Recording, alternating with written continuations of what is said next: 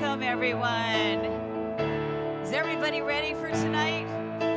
Pastor Billy said some things last night he was excited about tonight, so just be ready for what God has in store. Let's stand. Let's just usher in his presence. Holy Spirit, we welcome you to have your way in this place. Let the king of my heart, let the king of my heart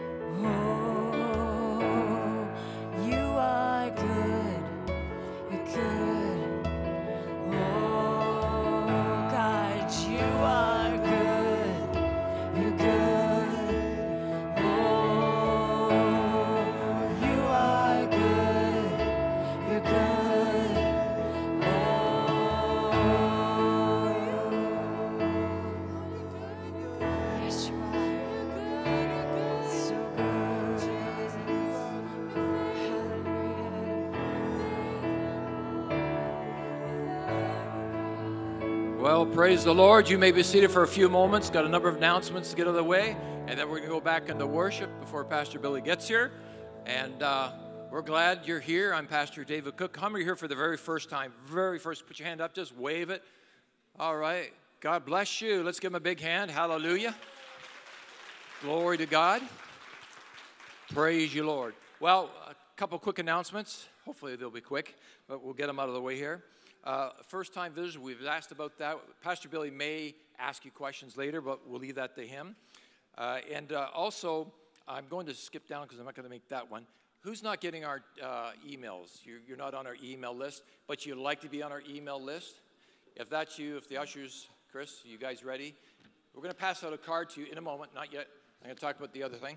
Okay, so the emails keeps you informed. We can always go to the website but we try to keep up to date with the emails and let you know where the meetings are if there's any changes.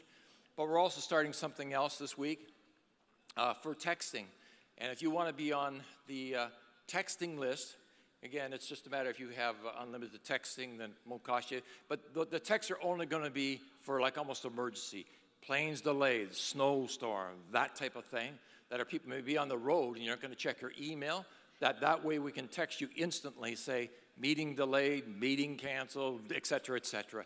So if you want to be on that texting list and the email list, if you're not on it now, uh, fill in the cards, print really clear, and on the top of the card, because those cards are mainly for emails, but on the top of the card, just say, add me to text list, and put your cell number in there. Okay, so that's in addition to the email. If you want to be on the email list, you want to be on the texting list, make sure you print that in there that you want, because if, if you don't print it in there, you won't be on that, you won't be added to the list. So we just want to do that as a convenience to help you and for people traveling, especially longer distance, that we're able to reach you in time in case there's any delays.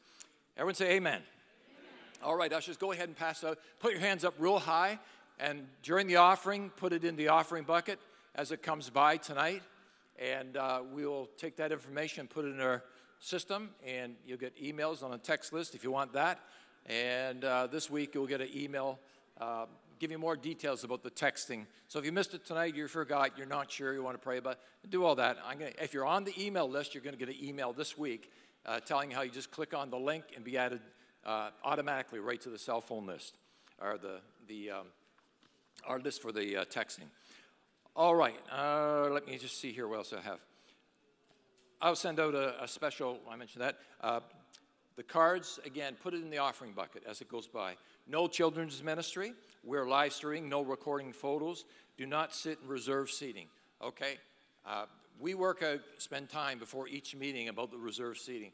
So I would even ask the volunteers, please do not place anybody in the reserve seating. It either comes through Cheryl or myself, okay? Because we get calls, we know up to the moment, and we don't want people placed in seats uh, uh, by, you know, you're loving, you're reaching out to them, I get it but realize that makes our work much harder, and we have to play musical chairs.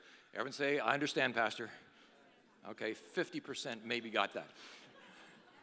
Praise the Lord. All right, so just keep that in mind. So I'm asking all the volunteers, it's the best way I can do it right now. Uh, don't do that. You check with myself or with Cheryl.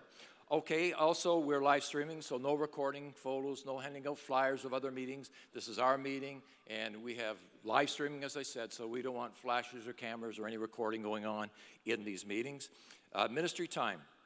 Turn off your cell phones, by the way, but during the ministry time, Pastor Billy's been led by the Spirit wherever he goes, and he's going to come into the meeting, and as he discerns things, he'll start to speak out things, call out certain sicknesses and diseases, and that's your cue. Again, if he's calling out right elbow, don't come up with the left foot. It's amazing when people get in that line and say, How did you hear that? I mean, uh, all right, so because it's very specific, the Holy Spirit is targeting those individuals for their miracle. So let's not get in the way of the miracle. Okay, let's get, let's allow God to do what He wants to do in each individual life in this place. And as the meeting goes on, if we pray with people at the end, like we did last night, then great. You just listen to my instructions, but basically we line up and when, the, when Pastor Billy starts calling out names, you line up, you go to the left side, and you go to the right side. We'll have people there to help you. We have a microphone, and that way we can control uh, what, uh, what's happening in the meeting. Everyone say amen. amen. Say, oh me. All right. All right. So, um, uh, again, tonight, as Pastor Billy uh, starts under the anointing and ministering to people, just flow with us. It makes it so much easier. And by and large, that happens here, okay? But especially for the new people, this is new. So get used to the new, hallelujah, and allow the Holy Spirit to do what He wants to do in your life as well as everyone else. Turn to your neighbor and say, Did you get that? Okay, we're up to 75%. We're getting there, hallelujah. Praise Lord. Steve, go ahead and show the video of our next crusade. The next two months are at Peter and Paul. Welcome to Touching Toronto with Pastor Billy Burke. We're glad you're here to be a part of this evening's Miracle Crusade. If you've never attended one of these meetings, get ready to witness the power of God on display in a mighty way. And if you've come with a need, we believe that the Lord will meet you tonight as you believe for your miracle. Make sure to mark your calendar for the next Touching Toronto meeting. And if you know someone who needs a healing touch, why not invite them to come and receive their miracle breakthrough? Your simple invitation could change their lives forever. So as you can see there, we'll be at the Peter and Paul Banquet Hall. You can go to our website 24/7, directions, all everything's on the website. If you forgot what I just said tonight, you missed the video, you were sleeping. So, anyways, you just go to the website 24/7, and the next two months will be at the Peter and Paul Banquet Hall. Uh, last and final thing before we go back into worship, uh, those that have you know, it's on your heart. You want to be a part. You've seen what God's been doing here. You might have been here one meeting, 10 meetings, doesn't really matter. But God's put it on your heart. I need to be involved in that ministry, what they're doing, the lives that they're touching. You know, we've had over 50,000 people through the doors, through the doors in 13 years, minus the three for COVID. So God is blessing it, and people are being touched and healed, and we're going to continue with that. So if that's on your heart, you want to be part of the ushering team, the volunteers, anywhere, uh, let us know. There's a volunteer application form at the desk. Please take that and fill that out and get back to us as soon as you can with that. And uh, we, we, we're expecting growth, and we want you to be a part of it. Amen? So let's stand up. Let's worship the King of Glory. Hallelujah. Praise the Lord. And Pastor Billy's going to do something a little different tonight at the beginning, but we'll see what happens when he gets out here. Praise the Lord. Thank you, Jesus.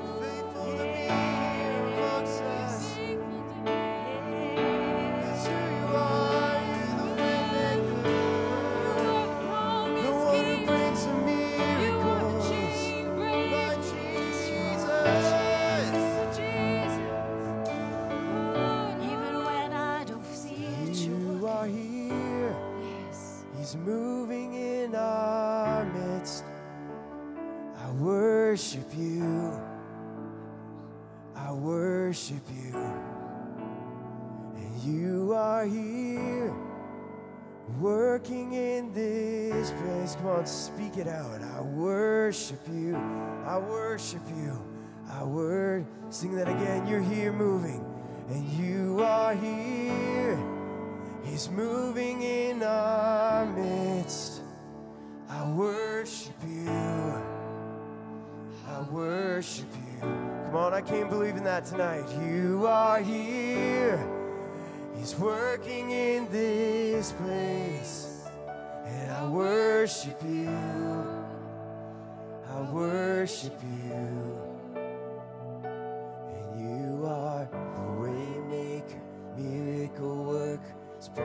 promise keep light in the darkness. My God, that is who you are.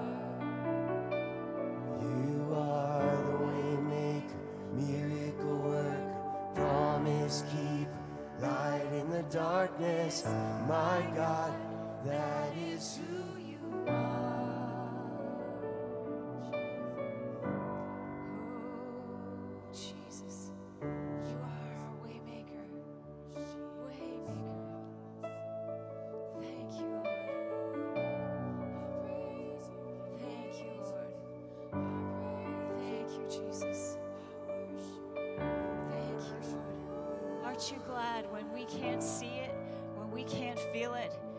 His word is still true. He is still moving. He is still working. He is causing those things to be not as though they were. He said, We're to open our mouths and declare it. It's up to me to declare what God says. And I just declare over this place tonight freedom, life, healing. Holy Spirit, that you will have your way.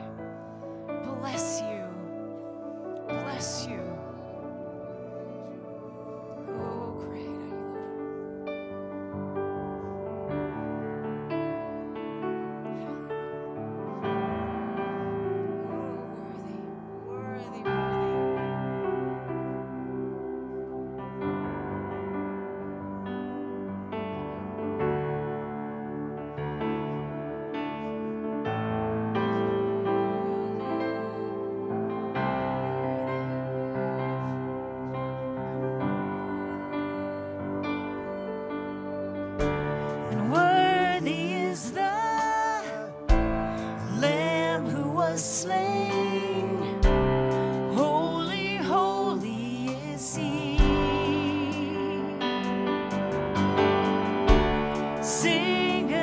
so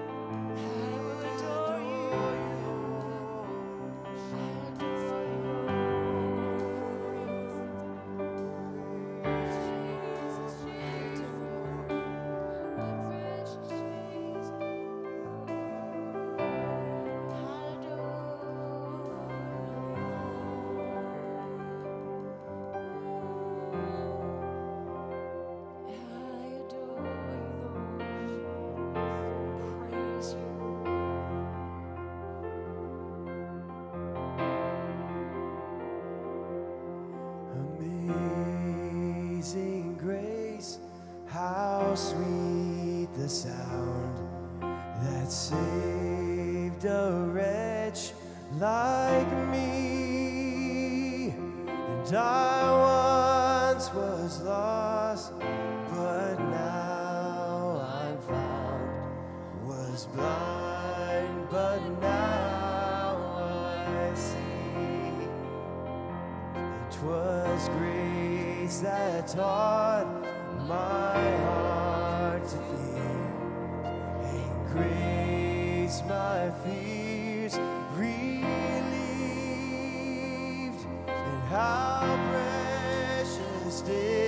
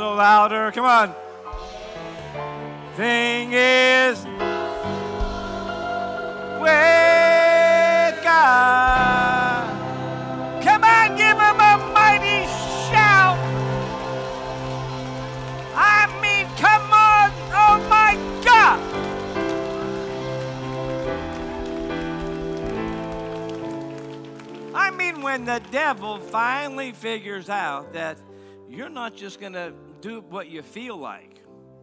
You're not going to go by your fe- feelings, excuse me, because a lot of times you want you're not real energetic, and you need a someone up here to say, "Come on, a little louder." You got more in the tank than that, you know, and, and just let the devil know that you're serious about the good things of God. That you're on the brink of a miracle. Come on, you're on the brink of a miraculous event.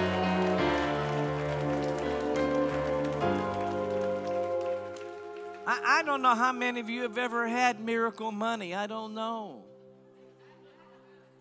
I think you've had regular money, worked hard for it. Miracle money isn't the money you work for, it's the money that works for you.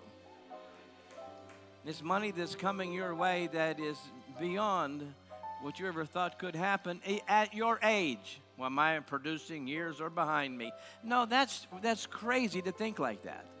Why would he leave you here alive if all of your best years were behind you? That don't make any sense. Glory to glory to glory. Oh, I don't know who's here with me. I don't know.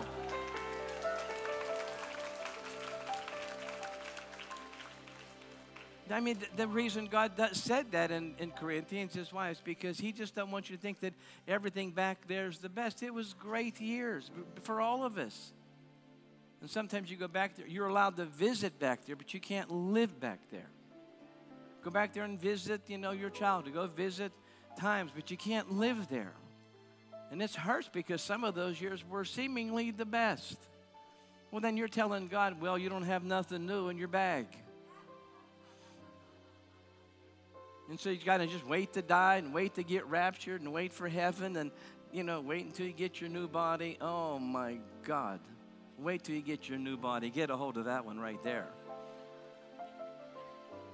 Come on, say glory to glory to glory. That's how God works. Everybody here has a greater glory in front of you.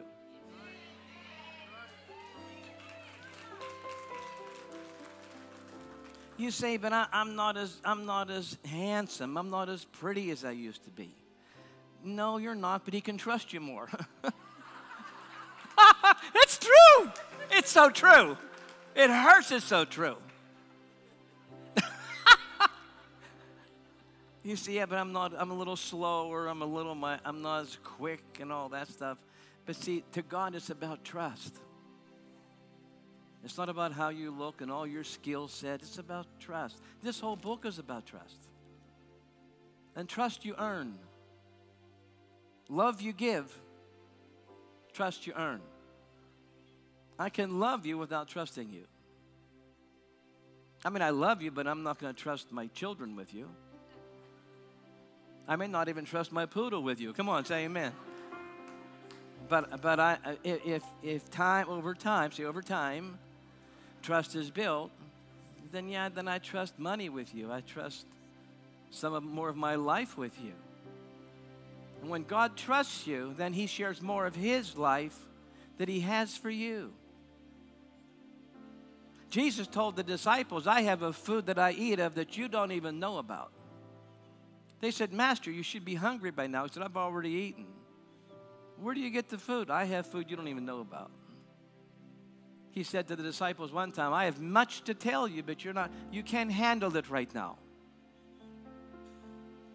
Another verse says, I haven't seen nor has ear heard the things that God has for those whom He loves.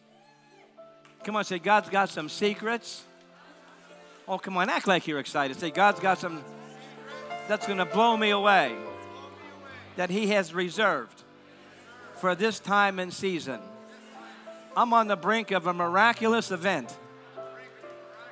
It's about my health, it's about my mind, it's about my relationships, it's about my assignment. It's all about that. And it's coming my way. Come on, give God a big shout tonight. Come on, hurry with, come on.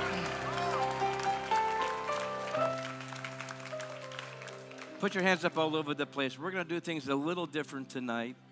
I'll explain to you in just a moment, but just put your hands up and make sure tonight, as last night, as each time that we meet, you don't need Billy Burke to touch you.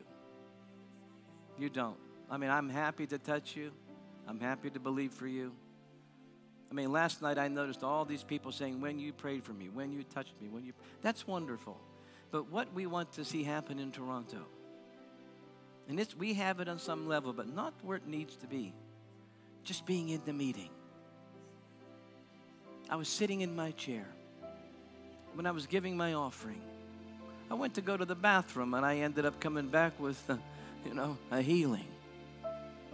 I was sitting here and I was just not doing anything and my pain left.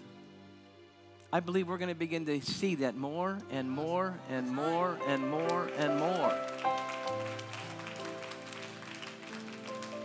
You know, we're telling God, send revival, and He's saying, I don't want to send revival. I want to come myself. I want to come myself. Too many people getting too much credit, and none of us deserve it. None of us deserves a lot of the credit that we get.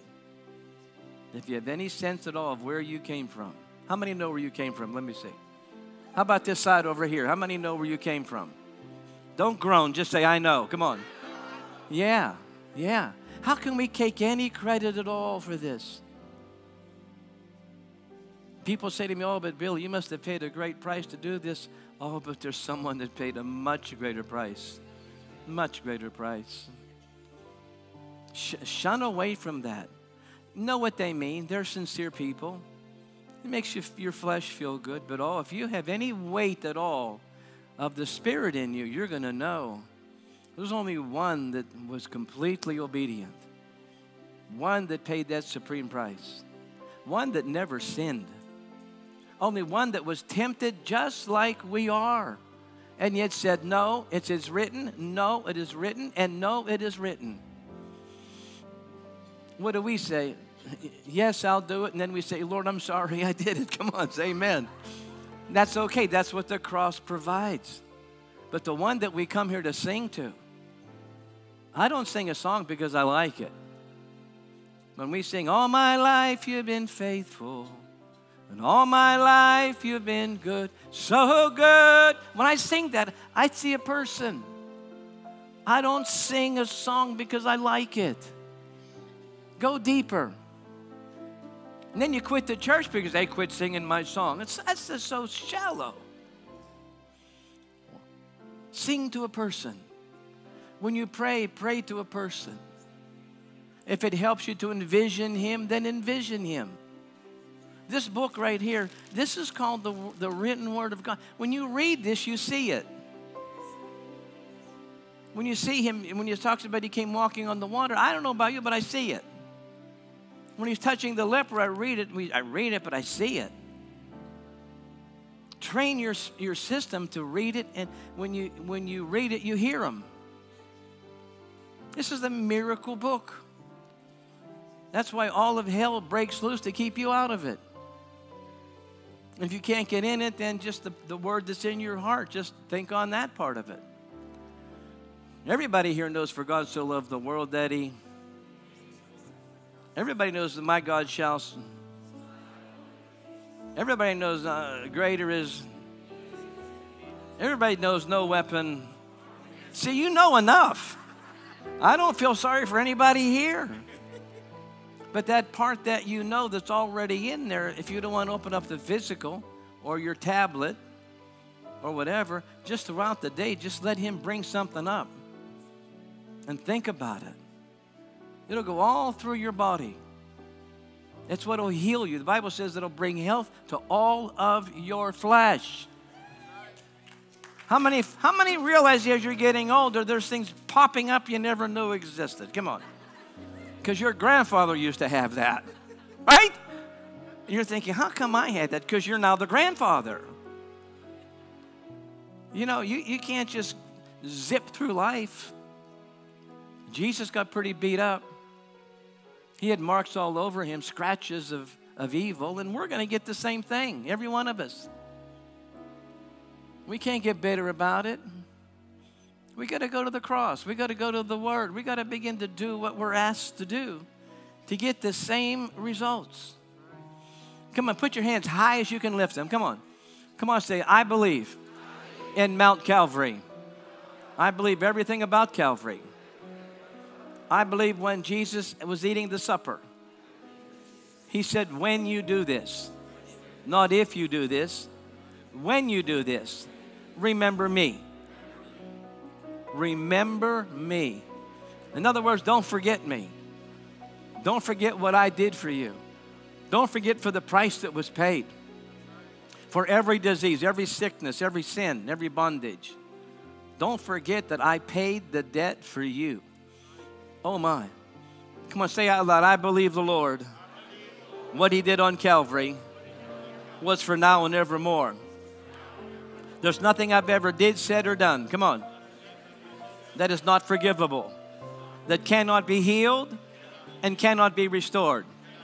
My God and the shed blood can wipe away anything. Come on, give him a mighty, mighty shout. Come on, somebody. Come on, somebody. Oh! I'm going to count to three. I don't know if this crowd can make an unreligious noise. I don't know if you can. No, that's, well, that's what's that? Ah! I want you to let go of something in you that, I mean, you saved for football games or the Toronto Blue Jays. Something you save for the, the, the, the mm, well, hockey, hockey matches. That'll do it right there. Something to let go of. I believe if we would clear our bodies, there'd be less disease. I believe praise and, and leaving go of, of holy sounds releases your body. It gives it a flush. It gives it something that, whew, just a shaking to turn loose cancer cells. How about plaque in your arteries? Oh, I don't know who I'm talking to here. There must be a bunch over here that needs it because I'm right here. I'm not way over there, I'm right here. So somebody right in here needs what I'm saying. Yeah. What was that? Where'd you get that noise at?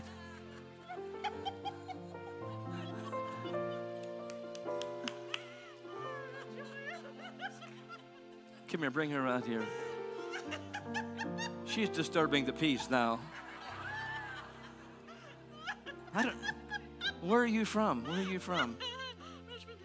Richmond Hill. Do you have a church there? What, what's your pastor's name? Will. Pastor Will. He knows who you are. Does he know you're here tonight? I don't think so. We're going to send you back to Pastor Will. Bigger, better, and brighter. Jesus. To. See, she she has she's expressive. Not everybody don't have to be like this. I hope everybody isn't like this. But you got to be you. You got to be you. That's all. Just be you. It's precious. He's healed you, right? He's healed you, saved you, healed you.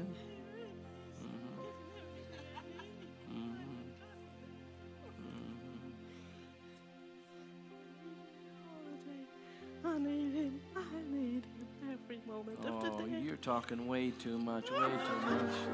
When you talk too much, you're going down. Come on, say amen. You're going down when you talk too much. You know, because everybody has a story, and often we don't have the time here to hear everybody's story, but you have one, and it needs to be heard. God wants to hear it. If you can't tell it here, then find a Bible study or a group of some people over coffee. But find someone that just doesn't talk about themselves the whole time. I'm going to say that again. Find somebody who doesn't just talk about themselves. You know, you go to have lunch with somebody and you want to have equal sharing time, and you leave there and you had a chicken sandwich and, and coffee, and that's all you got. Because what God wanted to give you, that lady couldn't keep quiet, it was all about her. And once somebody sees that they can abuse you, they'll keep abusing you. And you're going to end up not liking Christians. You're going to want to say, stay away from that lady in church. Find someone to let you share. It's important. There's healing in that, confessing to each other, sharing with each other, finding someone you can trust about what's going on in your life. It's precious. Come on, put your hands up and say, I believe in confession. It's good for the soul. And I believe that Jesus is my healer. I believe tonight God has a touch for me that I've never received before. It's time for me to rise up and be the person I'm supposed to be. I'm going to shake off these grave clothes. I'm walking out of here a new person, forgiven, released, curses broken, and a new path in front of me. Get out of my way. Come on, give God a shout. Wow.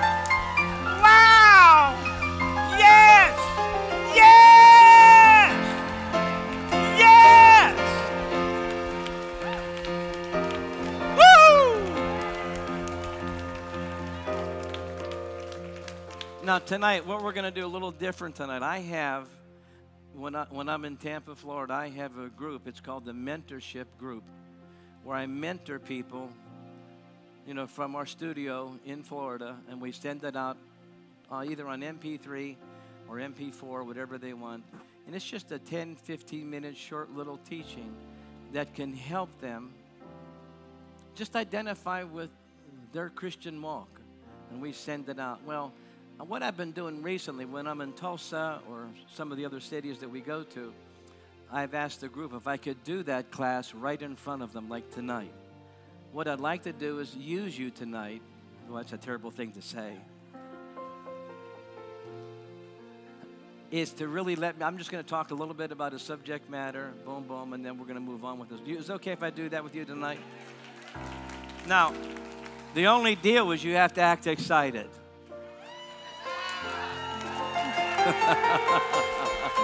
you, we'll, we'll remove all the boring people from the footage, I'll tell you. So if you're boring, we're, you're going to find out, oh, I thought I was there. No, we removed you. So I want to just take a three second course on how to smile. One, two, three. There you go. Put your hands up high, real hands. Say, Holy Ghost, I belong to you tonight. Every pain in my body, every disease that's on its way to my house will never make it to my door. It's not welcome here. The plans of the enemy will be broken. The devil will be shut down.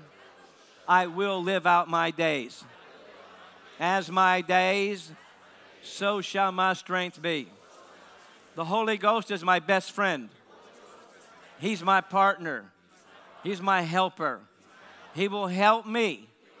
He alone will help me through anything and over anything. And by the grace of God, I will overcome. Come on, give him a big, big shout. Can you do that?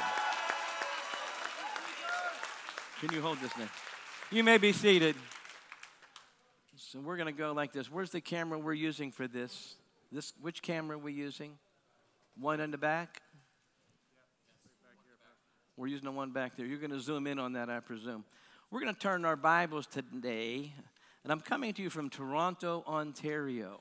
Let's give the people that on the television audience a big God bless you from Toronto.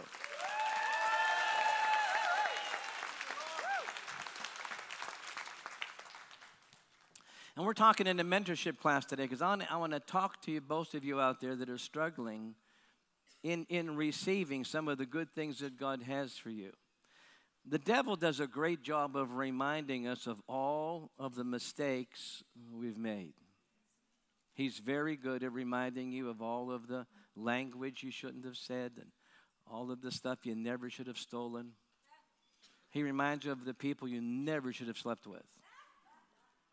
I'm going to come over here and say that same thing over here. I don't know if, my, if the microphone's working over here, but he reminds you of all the dastardly deeds. And then he says, You're trying to get healed of deafness or cancer or arthritis, irritable bowel disease, Crohn's disease. You're trying to get healed. And I mean, just last month, you were, you were down at the Joe's bar dancing on the table. Whatever, whatever. He's so good at that. He's so good at reminding you what a, that you were not a good mother, that you were not a good father, that you're an absentee parent. He knows where to, he knows where to stick and hurt. And then it takes away your motivation. You know, because, because really, the devil don't always show up and tell a lie. The Bible don't say in Revelation he's the false accuser of the brethren. It says he's the accuser. Well, why is he not the false? Because if he showed up at heaven and told all lies, there'd be no audience. Jesus said to Peter, He said, The devil's trying to sift you like wheat, but I'm praying for you.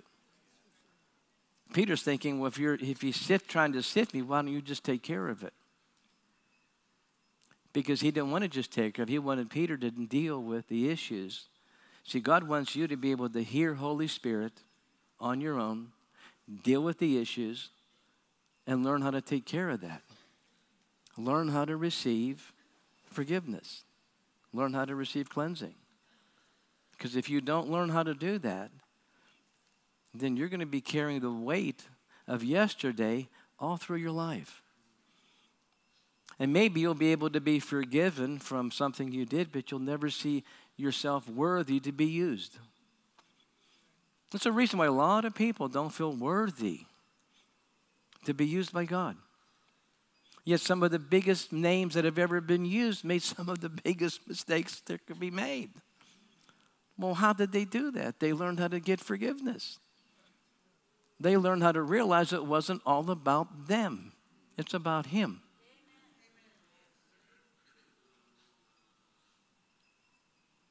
See, I don't need to preach here all night and telling you all the things that you did wrong because we all know if we think long and hard enough about it, there's not enough space in this room.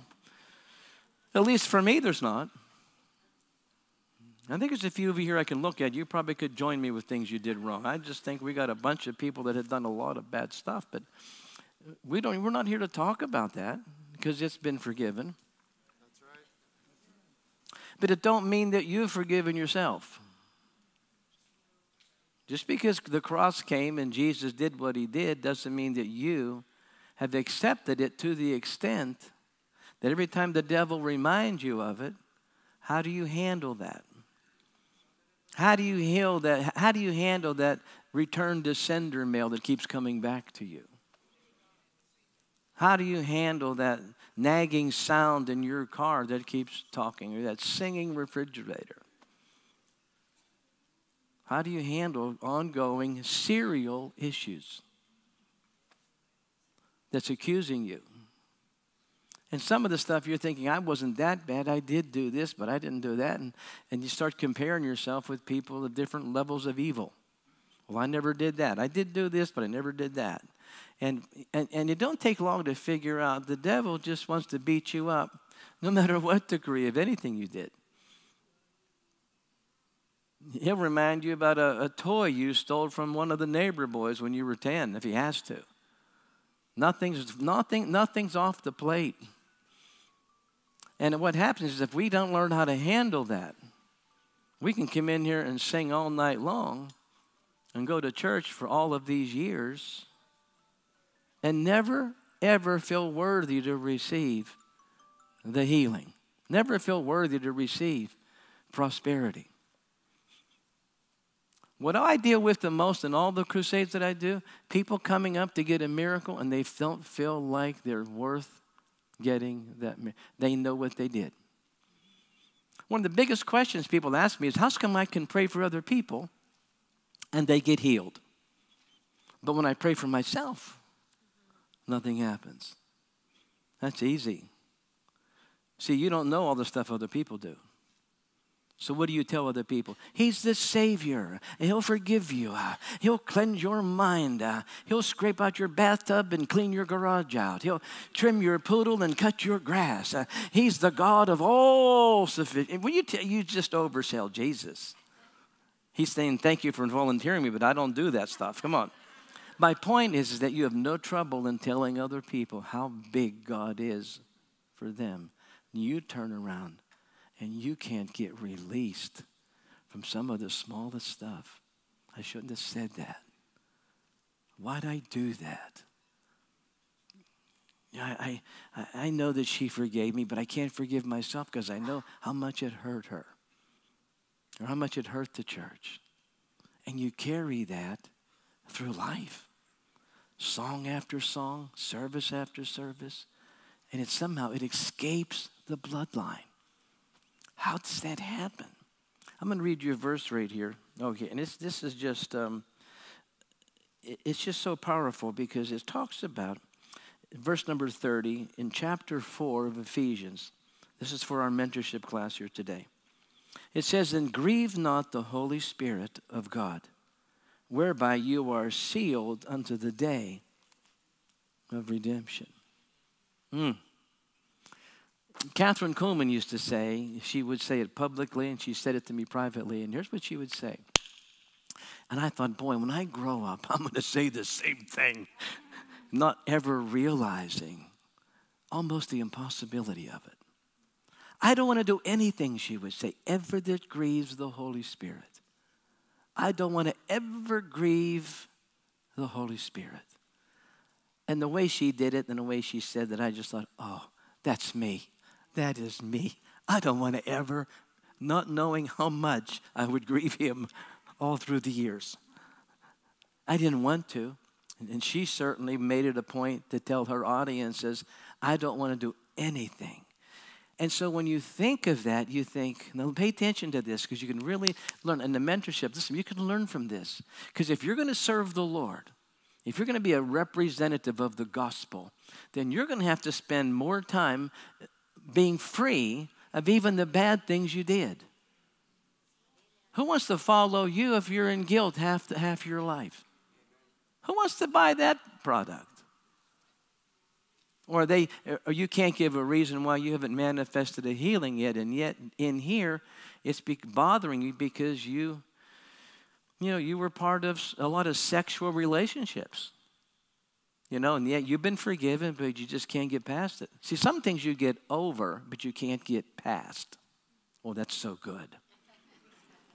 Come on, say some things you get over, but you can't get past. And it just, it's right there waiting for you to just dare you to try and be prosperous, to dare you to try and be anointed, to dare you to try and really live guilt free. Is it even possible to live guilt free? I mean, is, is, is, are, is everybody not telling the truth? Is everybody just kind of pretending here that when they go to church they feel better? But out there, when they get out there away from the presence here, they battle some of the, some of the most horrible, hellish battles. It, it's not the pain in my arm that bothers me, it's the voice behind that pain that says you have bone cancer. See, it's, it's, the, it's the voice behind, you know, after you leave a good meeting and you say, Boy, I'm glad I'm saved. And the voice comes in and says, Well, who says you are? So there's no real confidence you have because you keep repeating some of the same things as we all do. How many times do you have to say you're sorry for the same thing before you get set free? Well, wouldn't we like to all know that? Look at your neighbor and say, You get healed on credit more than you know. Come on, tell your neighbor. How many know what getting credit is? Let me see. That means you don't have the money at the time, but you got that plastic MasterCard. Come on, say amen. And that's the same way you get a miracle. So I, I struggle with this because, I mean, used by God and God doing miracles and healings all these years, and yet in my own life, I've I made many mistakes, more than I care to admit, with as much knowledge as I've had. And it humbles you to know, like, then you got to go out in front of people and, and you know, da da da da. But the longer that I was with Oral Roberts or Kathryn Kuhlman and some of these amazing figures that, that you all know, and I've learned to know them and love them in the time that they were here. I saw the weaknesses, I saw mistakes, yet I saw the glory pour through them. And I'm thinking, no, some, something I don't know here. There's something I don't know here because something's bottlenecking the goodness of God in my life. How many know what I'm talking about? It just bottlenecks your confidence. And you don't, you don't talk the same way because your son knows you. Your daughter in law knows you, and then your daughter in law knows that you just don't give a dime to the church or anybody else. Come on, say amen. And, and then you're talking about all this and all that, and you don't, you don't forgive. And the people around you know this about you. And then they wonder how you come home from church. Praise the Lord! Praise the Lord! And then you wonder why they don't want to go to church with you. Well, they're saying, I don't want to live a lie. And so they go down a road of, of total deception, and you're over here. Now, you're doing the right thing, you're staying in faith. At the same time, though, where you're losing is silently.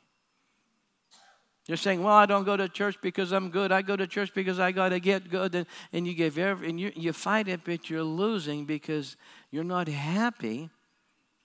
You still feel like you're disappointing God. I dealt with this. And I knew that if I was going to grow and the ministry was going to grow and become more global as it is, come on, give God a big shout tonight. Come on, then. Then I had to deal with this verse. Some of these verses will trip you up. Because it says here, don't grieve the Holy Spirit because you're sealed until the day of redemption. That means that as long as you are married to the man or woman that you're married to, how many is married to somebody right now? Okay, this only counts. How many, how many's planning on keeping that person that you're married to? For all of you aren't planning on getting rid of somebody, I want you to listen to me, all right? Listen to me. If you're going to live long and enjoy that marriage, you have to learn what turns them on and what.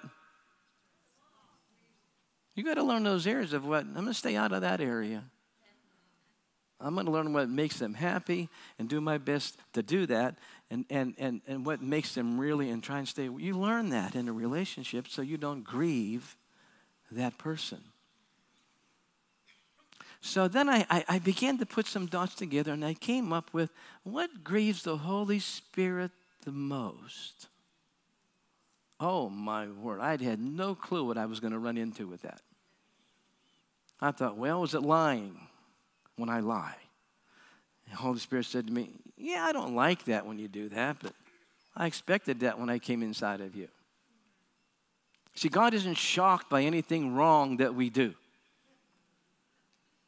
Come on, look at your neighbor and say, You're very difficult to work with. Come on, tell your neighbor. Come on, tell, tell your neighbor that. You, hey, you think when God came inside of you and you lied and lusted and lied and lusted a little more, that God was, oh my God, who did I save? He's not shocked by any wrong thing you do. I mean, you were so wrong you couldn't see right. You couldn't change your spots. When he came into you, he looked at a broken down house that needed total restoration with no Home Depot in sight. I said, Well, Lord, if, if my lust hasn't done that, and my lying, and my this here, and I just named all these sins that you still deal with, I said, If that doesn't grieve you, then what would ever grieve you? I don't want to grieve you. I don't know what Kathryn was talking about. You don't want to agree. I don't know. I, I, I, don't want to keep going down this road having to be remembered of all the things I did wrong and letting the devil blackmail me for the rest of my life. And here's what he said to me set me so free. And I'm so free about this today, and I want you to get free about this. You may have to think on it a little bit. You may have to go back to your pastor or your priest. And when you tell them this, they may fall, fall under the Spirit right there. Because it's a freedom like no other freedom. Calvary was meant. I mean, the, see, when, when we continue to carry the guilt of something, we just reveal to ourselves we don't understand the day that the cross rocked the earth. And the sun went, and the, and the moon, and the earthquake, and dead people came out of their graves. And we don't understand the significance of Calvary. And here's what he said. Here's what the Holy Spirit said to me. He said, Billy, I'm not shocked by anything you've ever said or anything you've ever done. I'm not grieved about it as much as you are. What I'm grieved is, is you don't come to me immediately and get the price that I paid to cover it. Oh, somebody give God a shout. Come on. Come on, somebody. I, I, I couldn't believe I couldn't believe what I was hearing. He said, Doesn't my word say that the righteous, the name of the Lord is a strong tower, and the righteous crawl? No, no. The righteous walk? No, no. The righteous, the righteous run. I don't want you to be in guilt for one nanosecond.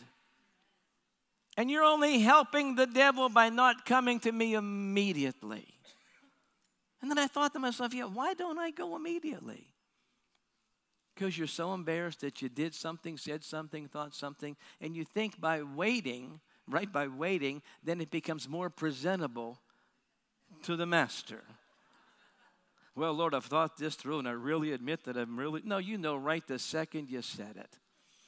You don't got a dummy in here. You got the Holy One of Israel. Come on, somebody say amen. And you know, the moment that you said it, the moment that you slept with him, the moment you said yes to her more than him, you know all that. Now, you may not know that if he's not in you. If you're not born again yet, then you, you don't have that illumination. You have conscience, but conscience is not a perfect guide.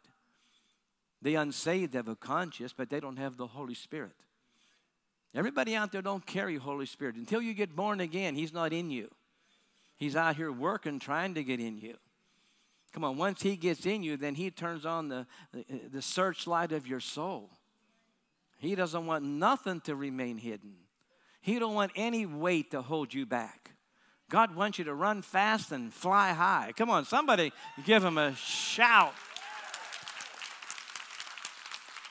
But you're going to have to believe more in the simple, basic, me- before you get into tongues and, and gifts and, and second coming and rapture, before you get into all that, you got to settle the basic. Because that's the main thing we deal with is that we're still, well, we're still imperfect. Our minds aren't completely renewed yet.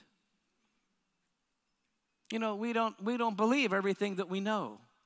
Everybody in this room knows more than you really believe. Like you all know that you're supposed to tithe and you get back money, but you don't believe it because you don't do it. You know that if you give, you're just going to give it back, pressed down, shaken together, running over 30, 60, 90. You know that, but the fact that you don't do it means you must not believe it. So we know more. Come on, say, I know more than what I believe.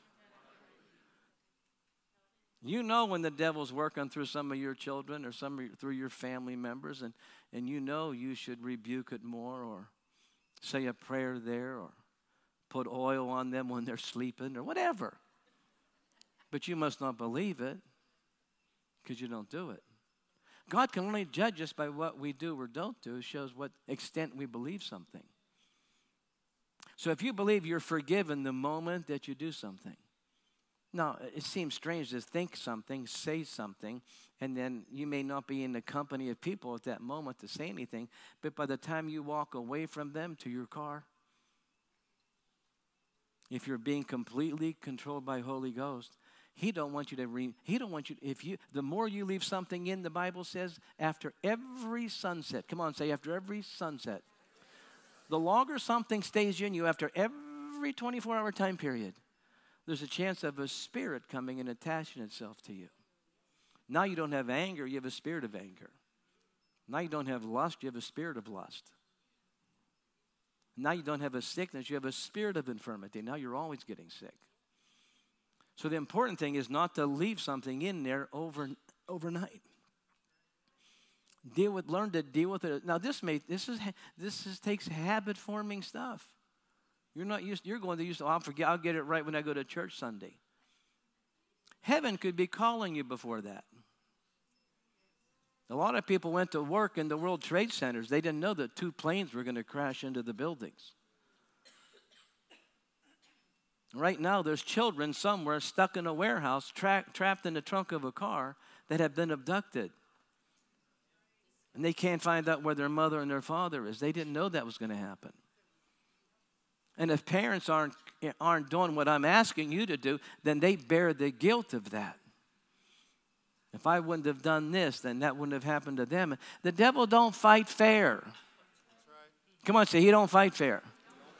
He invented the sucker punch. He does not fight fair. And God's trying to rescue you and rescue me out of everyday life.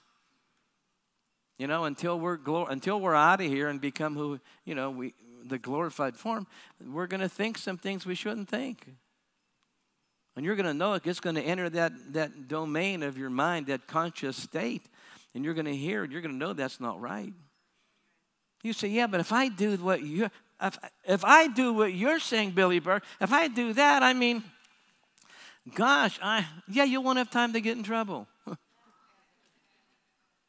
yeah, you'll be full time. Yeah, but if I do it that much, you'll be committed. But if I do it as much as you say, yeah, you'll be guilt free. And if you're guilt free, that means your confidence and your level of boldness to lay hold of what God has for you is unmatchable. Come on, come on, come on.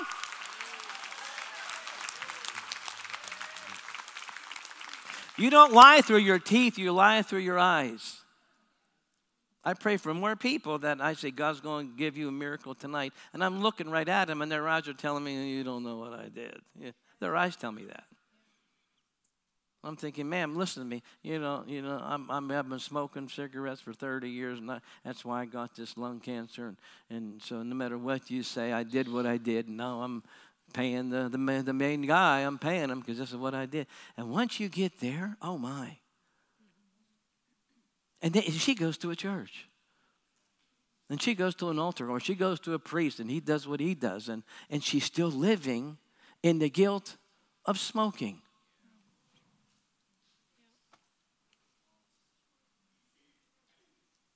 I said, Have you ever said you're sorry to the Lord? Well, you know, I mean, I keep doing it. Well, didn't, you, didn't anybody ever tell you that He never runs out of grace? It's actually called the throne of grace that there's an unlimited supply of that stuff? It's a river that never runs dry.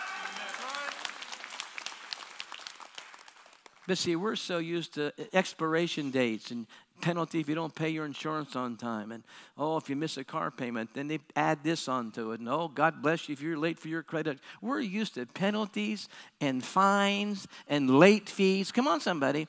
And God don't think like that.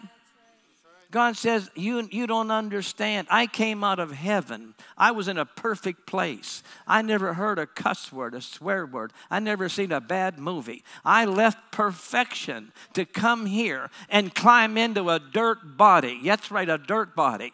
I climbed into this imperfect body. And then I had to put up with all this imper. I did all of this so you could be forgiven instantly.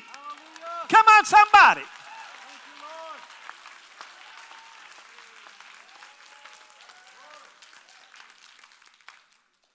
You know, we have a daughter, Bouquet. She lives in Nashville. She's involved in some of the stuff there. And, and she's, you know, now right now she's in Malibu. She's out there doing some stuff with the film industry. And we're excited for what she's doing. But she's a young person, 28 years old. And, and well, it might be a year or so ago, she got in heads over heels in finances.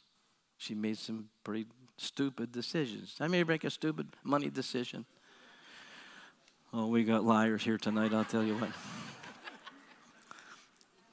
so my wife tells me, she told me what was going on. I said, well, why, why didn't she call? I mean, it, that money that she needs, I, I have that. It's not that much that I can't help her. Why didn't she call me? She says, well, she, you know, she just feels bad. She don't want to take from you. She's been taken from you her whole life, and she just don't want to. And so she said, "Don't tell Dad, and I'll find a way." I said, "Whoa, whoa, whoa, whoa, whoa, whoa! Why am I here? Doesn't she understand why I'm here? That as long as I can do if it's something out there that I can't do, then then we call friends. Come on, say we call some friends into this. But I couldn't do it. I mean, I could do this, and I was like, it really hurt me. It grieved me that there she is putting herself in harm's way to who knows what. And she needed X number of dollars, and she wasn't going to tell me, but she told her mother, and it trickled down through the mom to the dad. I said, So how much how much do you really need? And she told me, she says, um, I said, We got that. And I said, if we don't have it, we'll sell whatever we have to get it. Doesn't she understand? The love? And the Holy Ghost answered me, No, she don't. Most people don't. And a lot of people never had that love. They never had that parental love.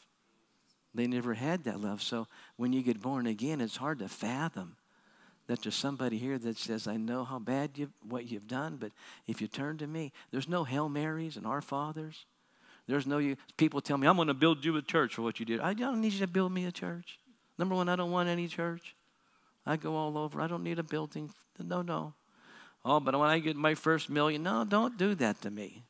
No, just just if you can give an offering, fine. If but no, understand this is all free. Yeah, but that can't be. No, you were raised wrong. You weren't raised right. Everything that you know, you have to stay after school and write three thousand times. I'll never throw erasers at people again. So, what do you do when you get older? You throw wrenches. Come on, somebody.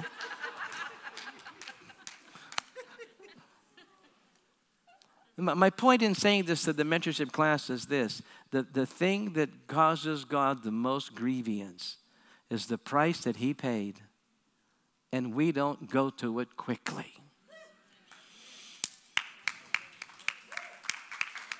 That's true. Because what you make God feel like is, I suffered for nothing. You don't want to make the cross of Christ and all that he went. I mean, there was blood on all four sides. His body was empty of all fluid. See, God's confirming everything I'm saying here tonight. so I speak heaven answers. You better be good tonight. What if that what if what I'm saying to you is true and somewhere subconsciously this is you? And it's blocking a healing of migraines. It's blocking the pressure being released from your glaucoma. It's causing you to go home early. Well, at least I go to heaven, but at least your children have no parents. Quit thinking of you so much. You're needed here. You are needed here. But if you're going to represent Jesus and the gospel the way you need to, is letting your people see that, yeah, dad did wrong and I made some bad decisions, but man, I took it to him. And when you get that release from heaven, and that burden of guilt is off of you, oh my gosh, it's brand new. Then people look at you and say, man, what, how, do you do, how do you deal with this? You act like you don't make any mistakes. Oh, I make more than you. I just know where to take them.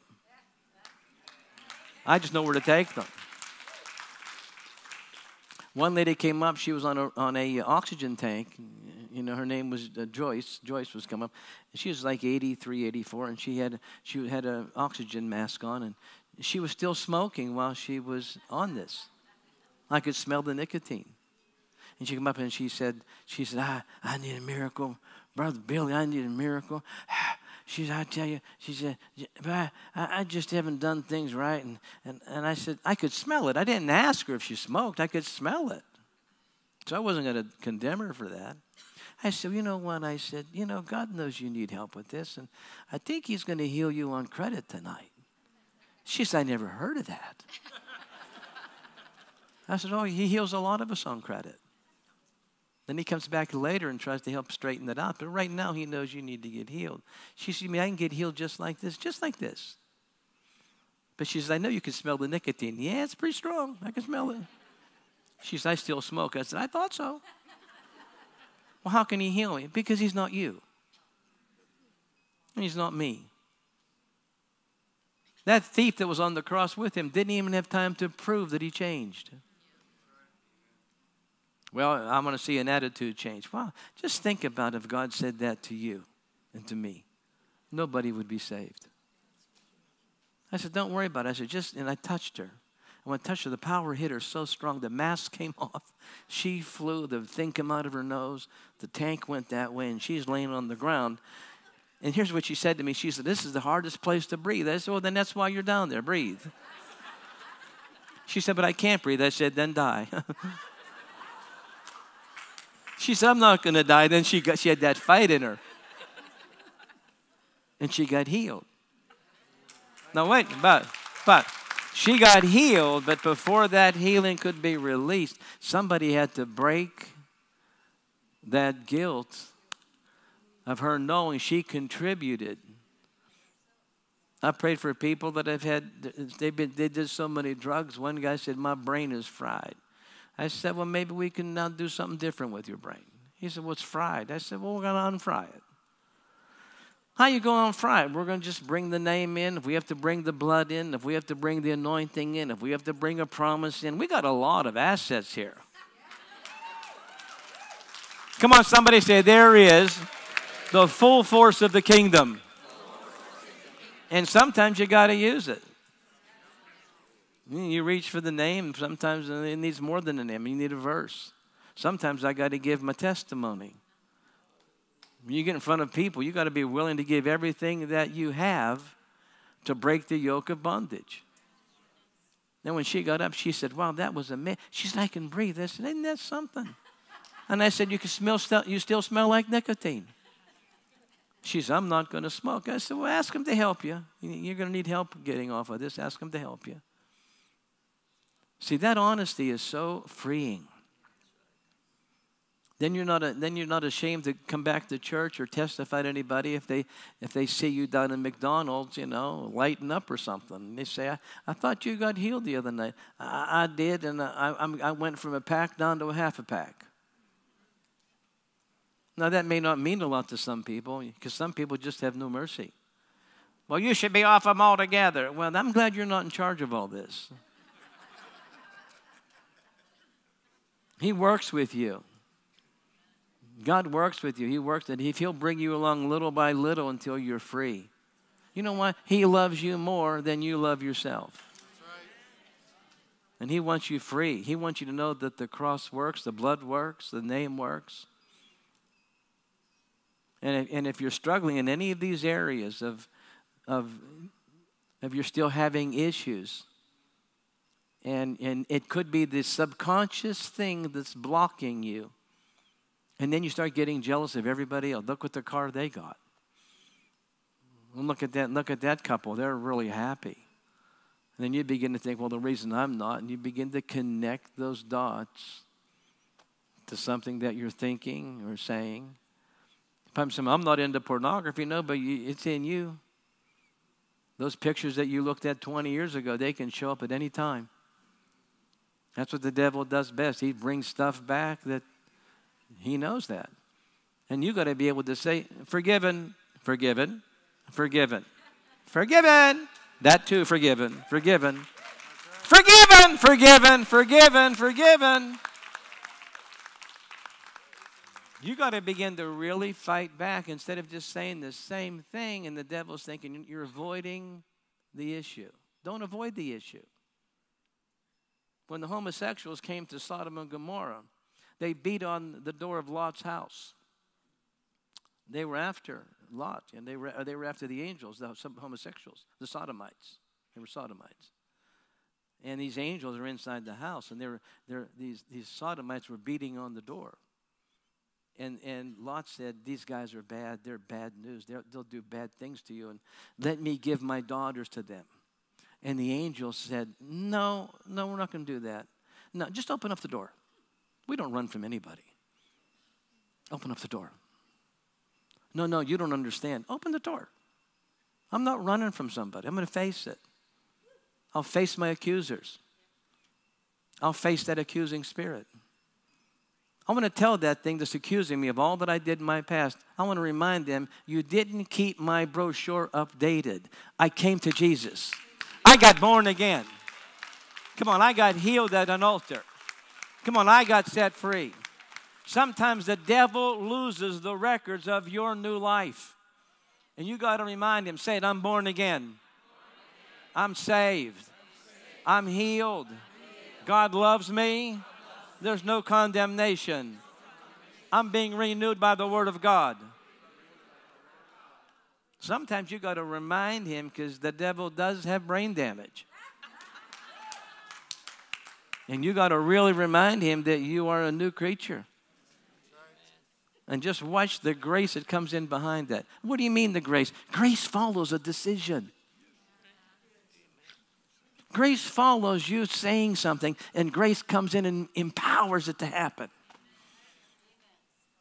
And there's one thing that God likes to do is he likes to be believed. God does not like to be doubted.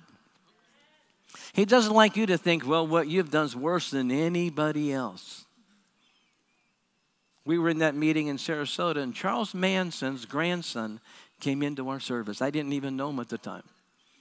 I didn't know him. He come up and he, he's right there and he said, Hey, I've been watching you on the internet and I, I have a curse on my life and on my family. I didn't ask him his name. I just said, Hey, well, that's really great. And so, how long you been? He said, I just want to kill myself. I want to kill people. I didn't know who he was. I didn't know. I said, Well, that's not going to happen here.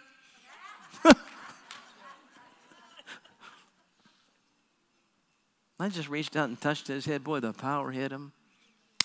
He went down, and boy, these, these things just came out of him.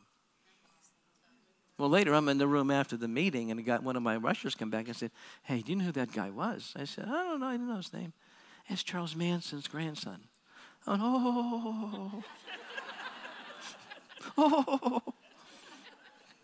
I said, Tell him I want to see him. So he came in the back. I said, Is Charles Manson your grandfather? He said he, he was. He said, He was. He said, Man, when you touched me, the lights went out. He said, I can't tell you how I feel.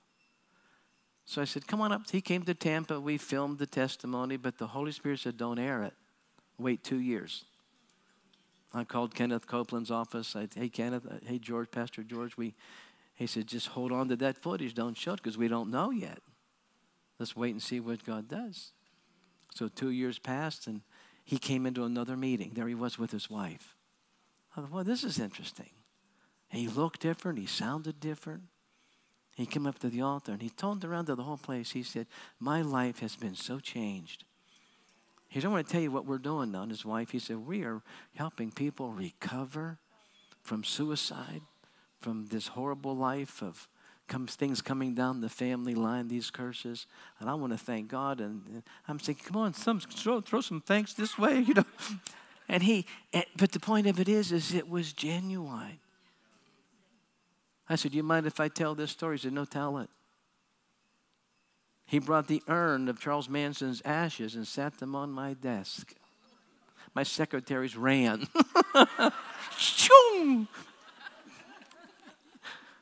And I didn't, I knew it was an urn, but I didn't know who was in the urn. you know?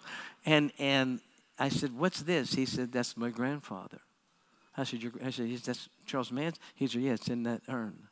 And I just, and the Holy Ghost said to me, Well, now's a good time to see how strong you are. When Jesus touched a leper, was he afraid of getting leprosy? Or was he saying, I'm not getting what you have, you're going to get what I have? Come on. Come on, say, that's how strong you can get. So, whenever that thought comes up that condemns you from something, and I'm not going there, just a muscle on your mind that can say, No, no, I've paid that price. Calvary's paid that price. And continue to move. You're going to need every space in your mind as you move forward to just beat this culture, just to beat the news channels just to beat the health departments of what they're allowing to come into our menus and, and all through our land. They don't legislate. The, the Food and Drug Administration is not on your side. They're after money. They don't care about you. I mean, you got to really read those labels of what's in that stuff. They'll make anything to taste good for you to swallow it. Where's all the cancer coming from? From labels that aren't being read. The point of it is tonight is this in this grieving the Holy Spirit. Do you know Him well enough just to turn to Him right after you do something, right after you have that anger, right after you throw something at somebody, right after you told your wife, I don't need you anymore, I don't need you, I don't need you. Why don't you take your clothes and go back to your family? I don't need you. Right after you find out that, you know, something caught up with you that you did years ago. What do you do with that? Master, I ask you to touch me. Come on, put your hands up. Say, Master, touch me tonight. Forgive me. The blood of Jesus is still flowing from Calvary. I don't want to live with this. Guilt isn't from you, and neither is shame. I don't want to live like this. I'm tired of it robbing my confidence and breaking up covenant after covenant after covenant. I declare you evil and not a part of my redemption. I receive forgiveness and cleansing and the healing stream of God. Let the healing rain fall on me. Come on, somebody give God a big shout on, give him a big, big shout tonight.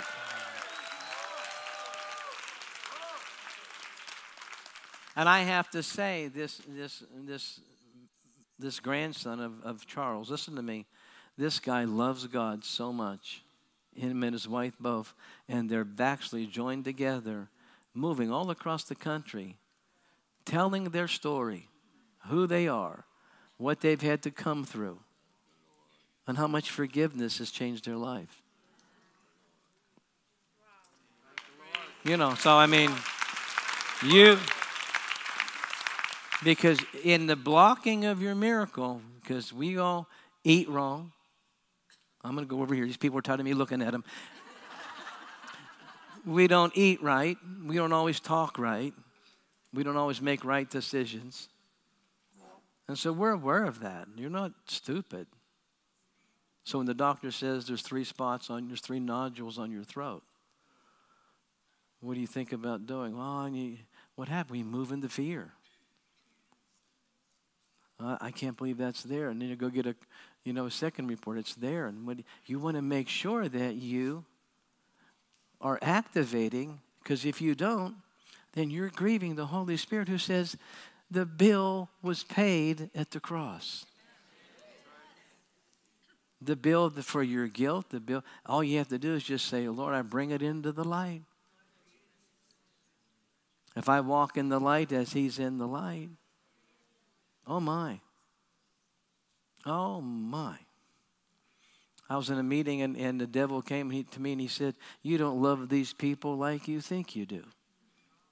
I said, Pardon me, I happen to love all these people very much. He said, No, you don't love these people like you think you do. I thought, Man, but it hurt me. It just like it was a knife in me. And so the meeting was over, and I was driving back to my hotel room, and the Holy Spirit spoke to me. He said, It's true, Billy, you don't love those people like you think you do. I said, Pardon? He said, That's my love moving through you. That's my love. In those healing meetings, don't tell the people, I shouldn't be telling you all this, but it's true. Because I was wondering, why do I pray for so many people and I love them, but they bother me? Not everybody, but there's people that just, they're just contrary. They don't want to quit what they're doing. They, they, they, they obstruct what could happen so quickly. He said, No, that's not your love going through people. That's my love. You're releasing my love. Your love is growing. You're coming along. You're getting better at, at overlooking everything. But right now, until your love is perfected, I'm moving through you to love those. Come on, somebody give God a shout. Come on.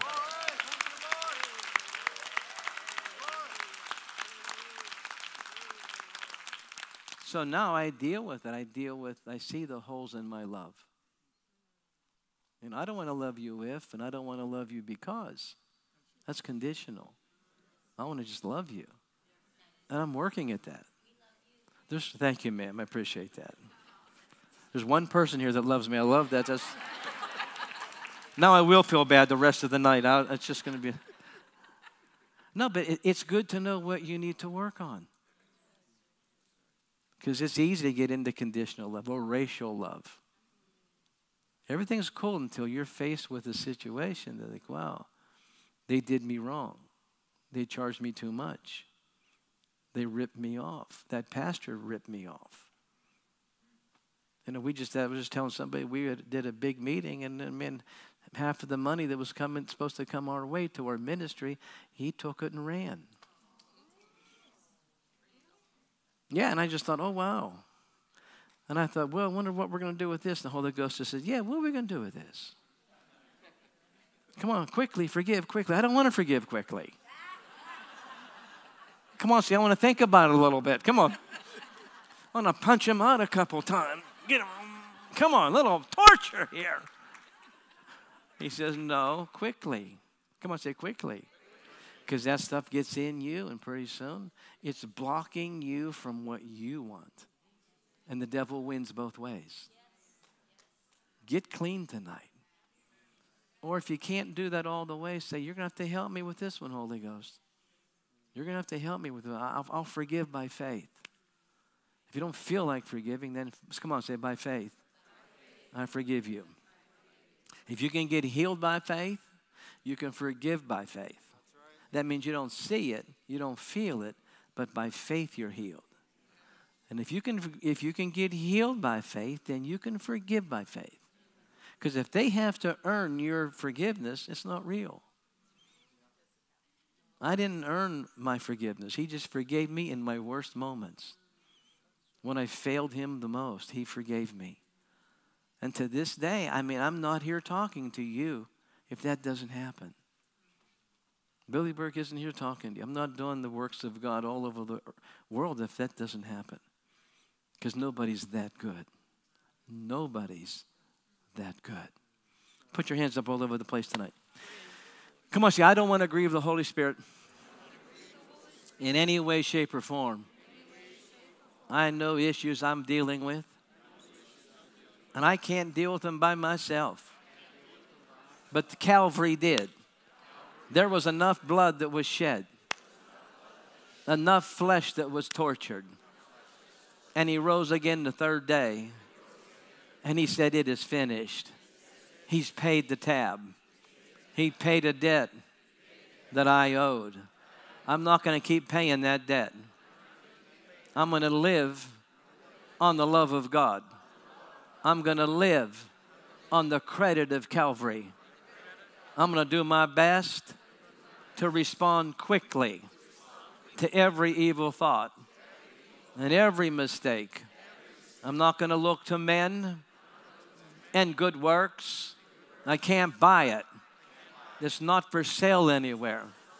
But I can go to Him, and instantaneously, there's a release from heaven that breaks every chain and every fetter.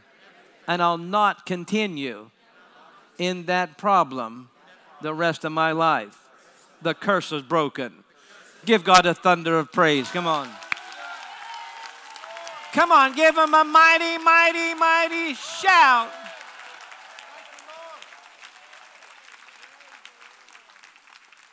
So who do we have here tonight? First time tonight in the meeting from anywhere tonight? Anybody first timers tonight over here? My good friend from Miami. Come here, Mr. Good Looking from Miami. This is Michael Ferrier. I didn't know you were going to be here tonight. Come here. He's the one that brought this here, right here. What's this about? He works for American Airlines. Tell him what you do. How long you been with American Airlines? 37 years. 37 years, American Airlines. And what do you do there? What's your role there? I was on a business trip today, but um, a lot of people uh, in Miami need some healing.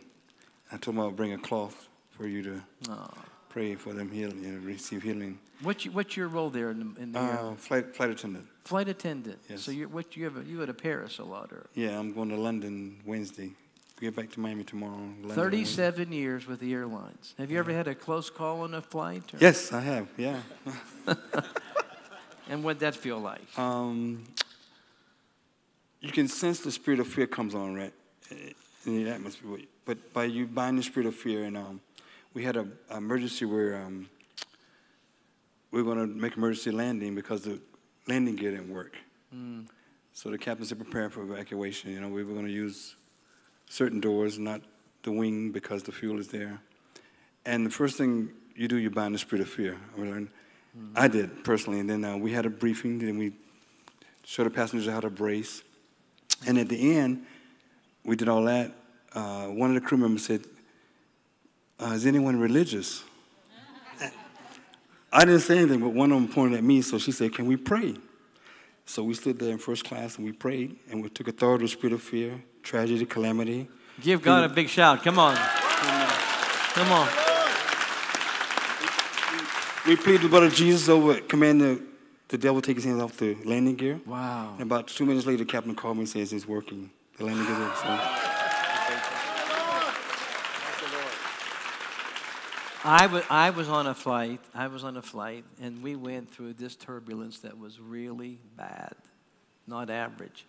And there was a lady, I was on the end seat. There was a lady here, and a lady next to her by the window. And I was just here, and I was praying, even the wind and the seas obey him, even the wind and the seas obey him. And I just happened to look out the window, you know, and, and I said, Oh my God, Jezebel's on the wing. Now, I didn't realize I said it out loud. See, and the lady next to me said, What'd you say?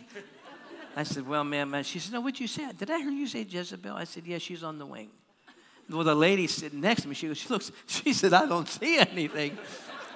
She said, What do you see? I said, Ma'am, I don't mean to get you all worked up, but I said, Just, just sit back. I'm going to get Jezebel off the wing.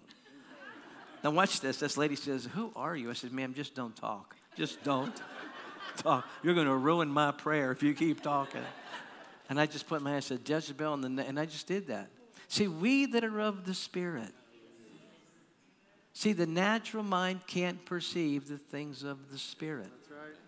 If you're going to grow in this and you want to go all the way before you make an assessment of what all's available to you, I mean, the, the, the riches of Jesus are unsearchable.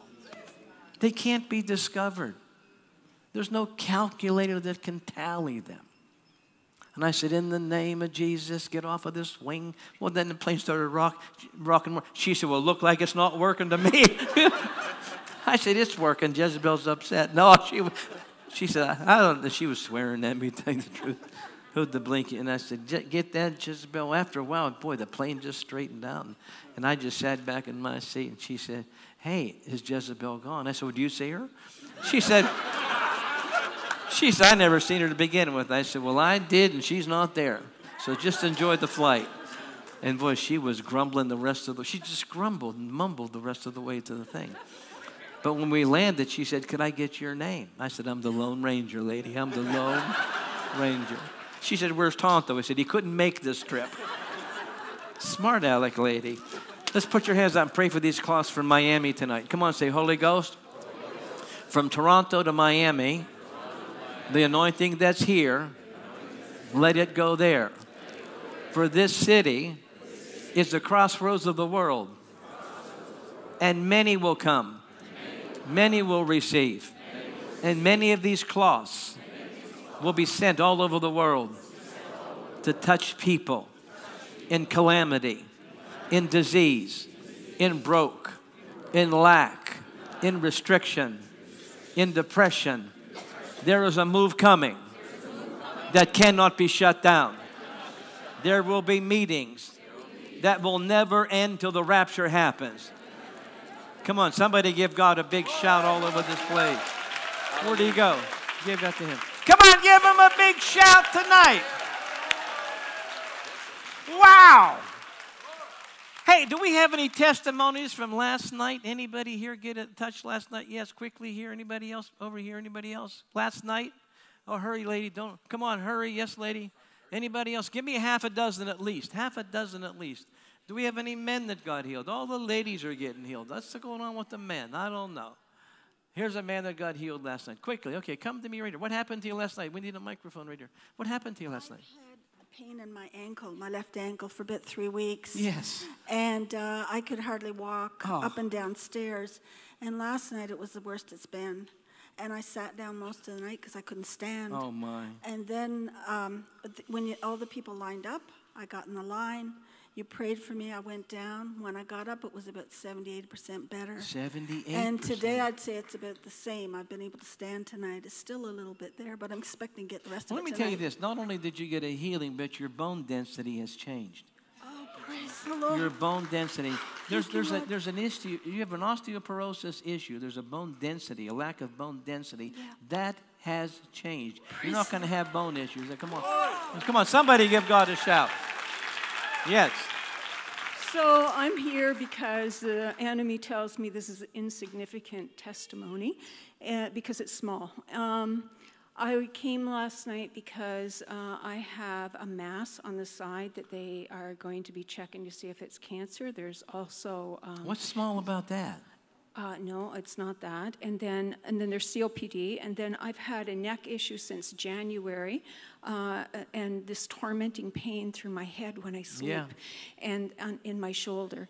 And last night, I I couldn't move my head. Well, looky before. there. Now I can move my head, but it's still painful. It hurts a little bit. Okay. Yeah, and I still have this, but it's How do you a know you have small.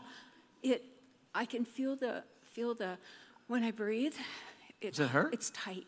Yeah, yeah, mm-hmm. So do, breathe again for me. yeah. What? It's gone. It's gone. It's gone.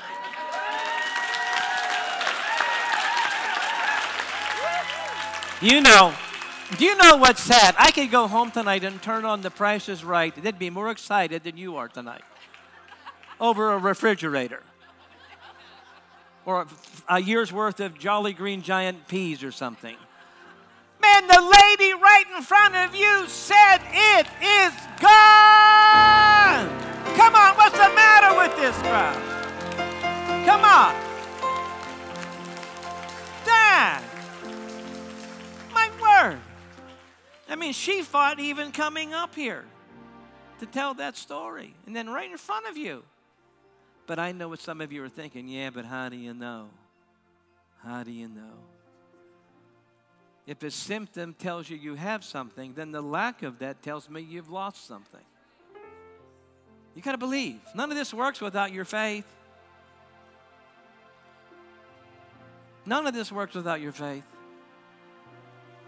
And your faith will grow the more meetings that you're in. You're just trying to get me here. How'd you figure me out? How did you figure me out? I'm trying to get you strong because there's a storm coming. There's another shoe going to drop. And God don't want the church to be seen as the most fearful group on the planet. Come on, put your hands up and say, I'm going to be full of faith. This time I see him coming. And I will tramp on a serpent. and a scorpion, and over all the power of the enemy. And nothing by any means is going to hurt me. Come on, say, the Holy Ghost has surrounded me. I have a ring of fire around me. And I believe that I'm here to step on the enemy. Come on, give God a big shout all over this place. Look at that. Look at that. Yeah, but the Holy Ghost on this. The Holy Ghost on the. Wow. Come on, we got to get a guy up here, sir. Come up here and help me here with these. What happened this last night? Yeah, What last happened? night you were praying for me. So I was uh, completely deaf with my, with my right ear. You were what now? I, I was completely deaf with my right ear. Totally deaf. Yeah. Uh, and then I could hear like uh, 5% to 10. You were able to yeah, hear. Yeah. You I were just totally deaf though. with, with headphone, yeah.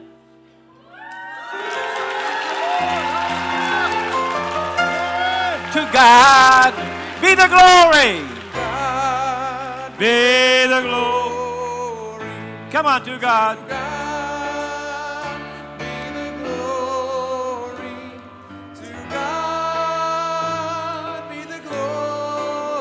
For the things. He has done. Come on with His mighty blood. He has saved me. And the power. Hey.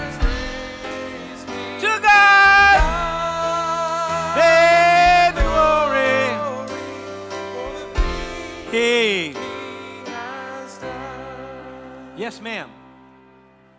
Last night was my first night, and for the last six months, I've been carrying deep resentment and felt deep betrayal uh, from my sister. Wow. And after leaving last night, I felt different, and then this morning, all of that had disappeared.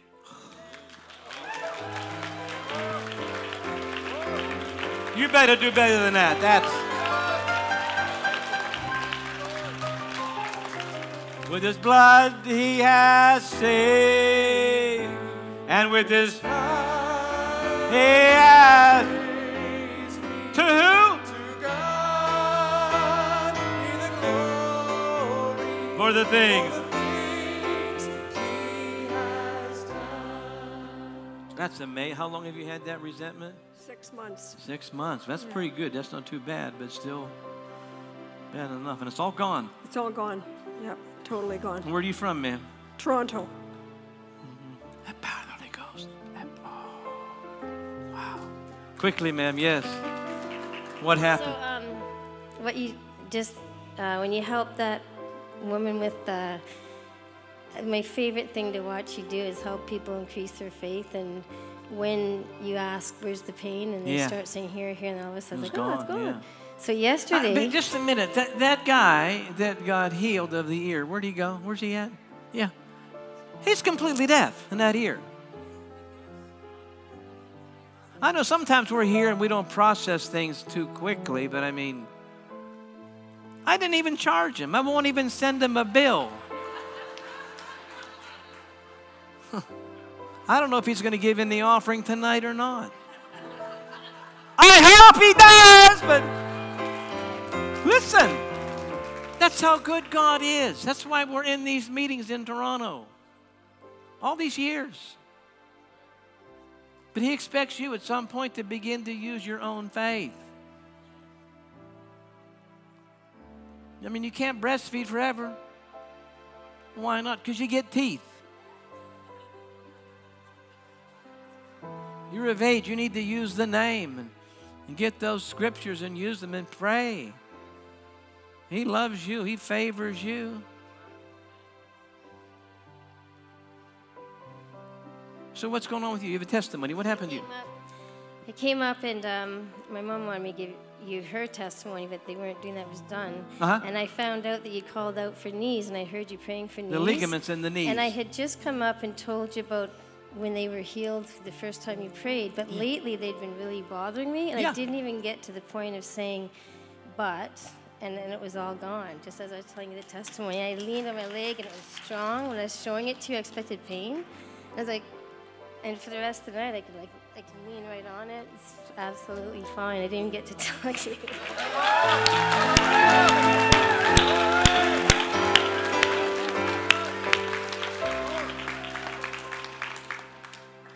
The devil hates when you do that. He hates when your car points in this direction. He hates when you sit here and sing these songs. Every song that you sing, that we sing here, is prescribed for you to sing this night. It's the medicine for tonight. Because when you sing a song, it just don't you don't sing it. You absorb, it goes down inside. It touches your lungs. You're inhaling praise. It touches your spleen, your your gallbladder's on this side. It touches all of your colon. Touches every part. If you praise Him, and some of the songs we sing you may not know or you may not even like, but if you'll just do it. You know, when that doctor gives you a prescription, you don't always like that, but if you do this three times a day, this is the prescription for your spirit. You get your spirit here and your body lines up. It's just time. I'm so happy for you. I'd like to tell a testimony from my mom who would love to be here. Okay. Too much. What happened to your mom? Um, so she got prayed for, and um, apparently I wasn't there, but my sister said she'd been having trouble swallowing her pills, and she hadn't been able to. Okay, swallowing and this her pills. morning, Mhm. she, the nurse was saying, "Wow, She's a like nurse? swallowing." No, no, the nurse who The was nurse giving her the pills said that my mom had just swallowed. She said she swallowed them so easily, and so swallowing had been a problem. So I just You're sweet. You're could- sweet. You're very sweet. You're a very sweet girl. Very sweet girl. Very sweet girl.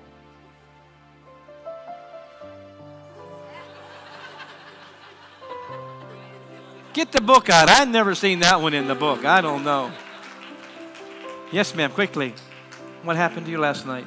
Um, you asked, you had told people if they had hearing problems, um, buzzing Hearing. in the ear. Buzzing in so the ear. Buzzing went. But Wow. Two years ago, I was terrorized and tortured by the government, and um, I had a stroke because of it, and bruising, cutting, and my heart started getting arrhythmias. Since coming to see you, I have no heart condition. It's gone. So. And, and thank you, God, because I do believe the Holy Spirit lives in this man and in each of us. And this has been the best place to come if you want to meet God. Come here. Come on, give her a big God bless you. Come on. Oh, my. Oh, my. You believe this, and Jesus said, You'll see heavens open and angels dancing on the ladder. God's going to give you an open heaven, lady, an open heaven, an open heaven. Quickly. Yes, ma'am. For a whole last week, I, fe- uh, I felt so weak and no energy, less- less energy. Horrible. Last week, you prayed for me, Yes. and in the morning, I woke up different. And I went outside and I was marching around this circle where I'm living and praising the Lord. And I'm so happy to do my very first testimony Oh. about that. But I have a sad news. You have what? Sad news. Oh. I have unbelieved husband. Unbelieving husband. Unbelieving, yes. that's- well, it's okay. He, he's a Jew. Okay. I, I'm a Jew from mom too. You're a Jew too? Yes. Okay. But my husband, yesterday, Uh-huh. uh, last night, he told me, You are not going anymore for healing services. Yeah. okay. He just. Uh, uh, The best thing me, to do, the best thing to do is just stay happy. Yes. Happy cures a lot. Being positive cures a lot. Walking out your victory. Quit trying to coax people. Live in front of them. But I'm praying that my father will help me to do, and it's, and I need more touch, healing touch. I love you so much. and next week, uh, uh, surgery is planned. Uh, planned next week to do on my lung. What for? What's wrong with Uh, your lung? For uh, uh, they say cancer. Who said that? Doctor. Did you have a second report? Did you get a second report? Second report from him. Always get a second report And on I- everything. I, I believe that there will be no cancer found. I believe it. I believe. I believe it. I believe it. Come on, give God a shout. Yes, sir. How we doing tonight, sir? Over this way. What's going on here tonight? So I, I missed last night's meeting, but I've been to several others. You missed last night's meeting, but you came to several others. Okay. Uh, in 2021, I had a brain injury. I had Okay. a bad dirt bike accident. What motorcycle? Yep. Uh huh. And So I spent two months in a coma. I was five months in the hospital. The doctor told me I'd never walk again. All my doctors told me I would never drive again. I came to a meeting at Selwyn Gospel in August, and You better ready to stand to your feet. You told me that I would pass my driving assessment the next week, and I did. Come on! Come on! Come on! Come on, somebody give him praise! Come on!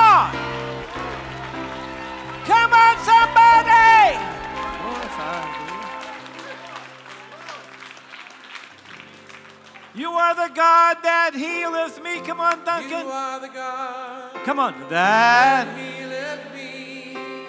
you are the Lord. Lord, my healer.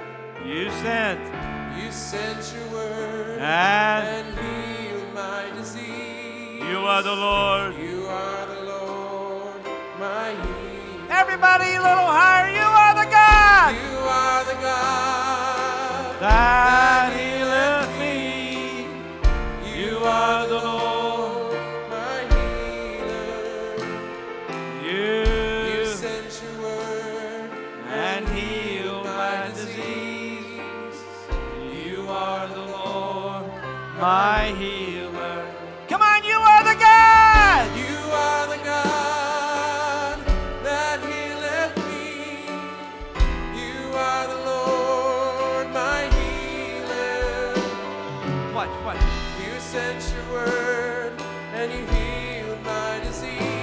good. You're doing great. You are the Lord, my healer. Come on, everybody. You are the God.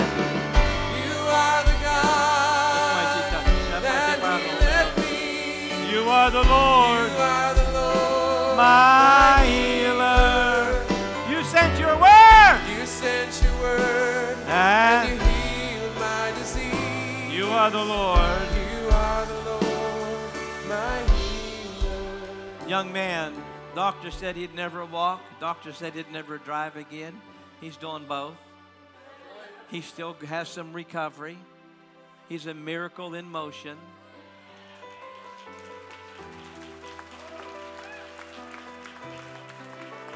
But here's a perfect textbook on how you testify. You don't wait till it's all complete. You thank Him for the stuff that He's done. Come on, say I'm 80% there. I'm 50% better.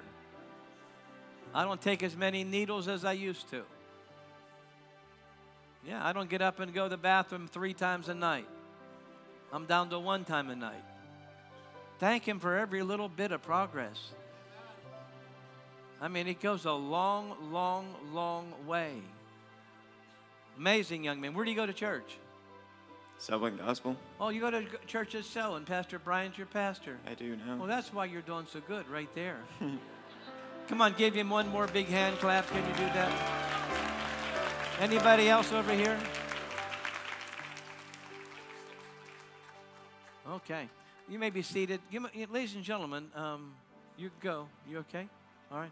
Then am I missing another testimony? I thought there was one more that needed to share. I just feel there was one more. We- Did we get that? Right here. This, is the pastor from Africa, from Nigeria. Yes, sir. Yeah. Yesterday night, you know, when I came out to because of my knee. Yes. Uh, I told you uh, in 2019, I I passed out in the plane. I was flying to Germany.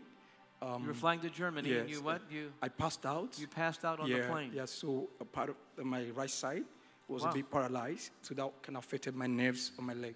Wow. So um, been finding it difficult to pray kneeling down. But after yesterday night, I went back to my room. I purposely knelt on my right leg to pray for an hour. I spoke in tongue, and I felt no pain. No pain. Come on, what's the matter with this church? Look at this.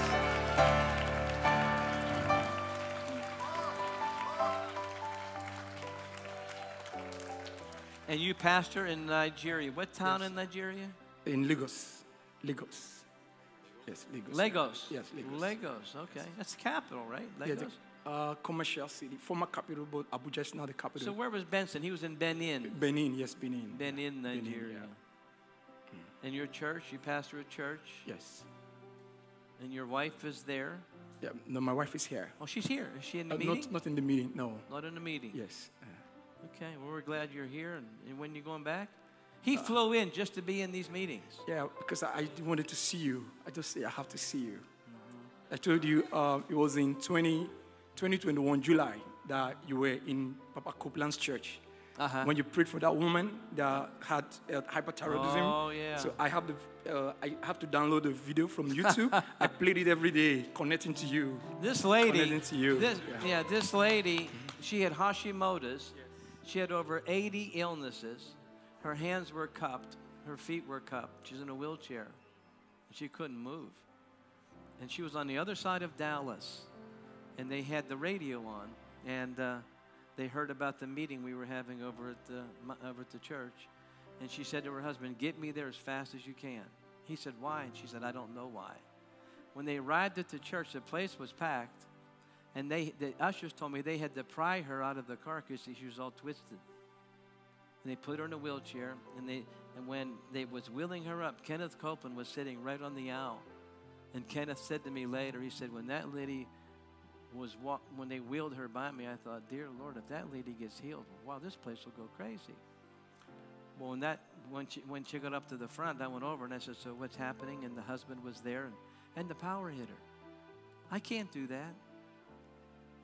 If you're looking for me to help you, you come to the wrong place. Don't leave yet, though. I didn't take the offering. Come on, don't leave yet. And when she got up out of that chair and she ran, the video, the video of this, I mean, the, the place shook. If you can imagine a few thousand people, the place shook. And you know where she ran? Up on the stage. And she went right to the keyboard because she used to be able to play, and she hasn't been able to play for so many years. And she just began to play in the band, with the band.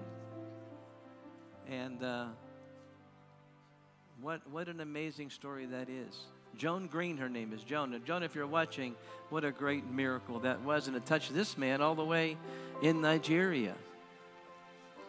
And you got a heart to see God do miracles. Yes, sir. You do. Put your hands up. You're going to see them. You're going to see them. Make sure you give him all the credit, all the glory. Don't you take none for yourself. Don't you take none for yourself. And God's going to shake Nigeria again. He shook Idahosa. He shook Nigeria. He shook Benin. But he's going to shake right where you are. He's going to shake. He's going to shake it. Come on, somebody give God a shout. And the thunder's going to move through Toronto again. Again. On, somebody say again. Always honor your past. Nobody's ever trying to deny the great things that went on at the airport. Amazing. Touched the world. But there's another wave coming. There's another one coming. And each one that comes will outdo the last one until the day that he comes. Are you ready for this? Come on, say, I'm ready for the next wave. Come on. Come on, give God a big, big shout. Come on, all over the place. Come on, we give him all the praise, all the glory, all the honor. And what I ask you to do, what I ask you to do in these meetings, there's no charge, never will be. I mean, many people come, they come for a long time and never give anything. Well, how do you make it? There's people here that give more than they probably can even afford. Somebody makes it available for you to be here to receive. When I was healed at Kathryn Kuhlman, I was nine years old, and we had never given her any money at all.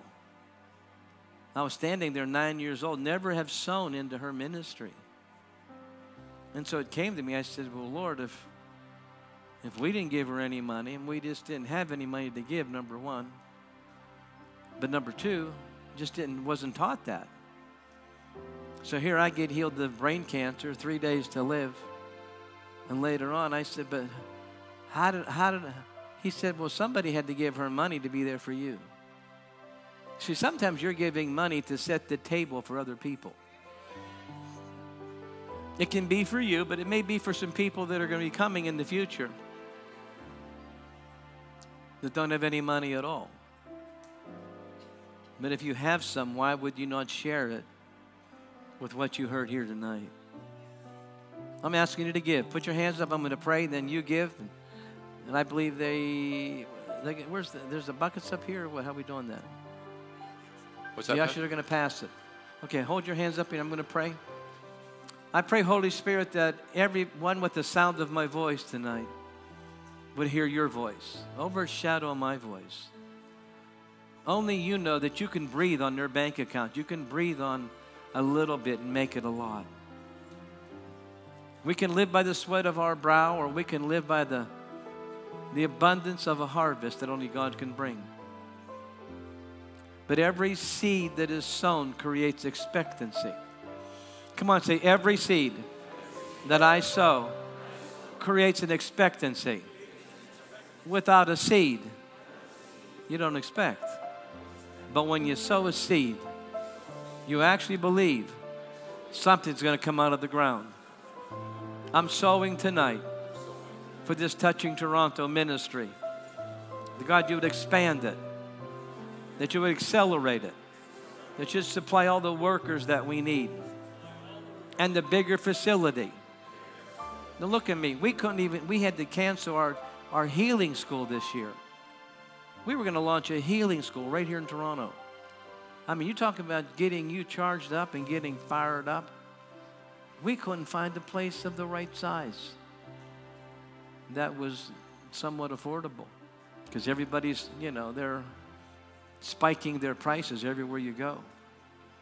In Tampa, what I paid 3000 for is now 7000 That's what's, that's what's taking place. They're just taking advantage everywhere, including here. So we postponed because we we're not here to put a burden on you. You know, and we're not here trying to find one rich person that'll pay for everything. We want you all to give.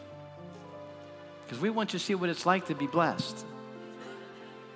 I believe this. I've watched it. I've watched it.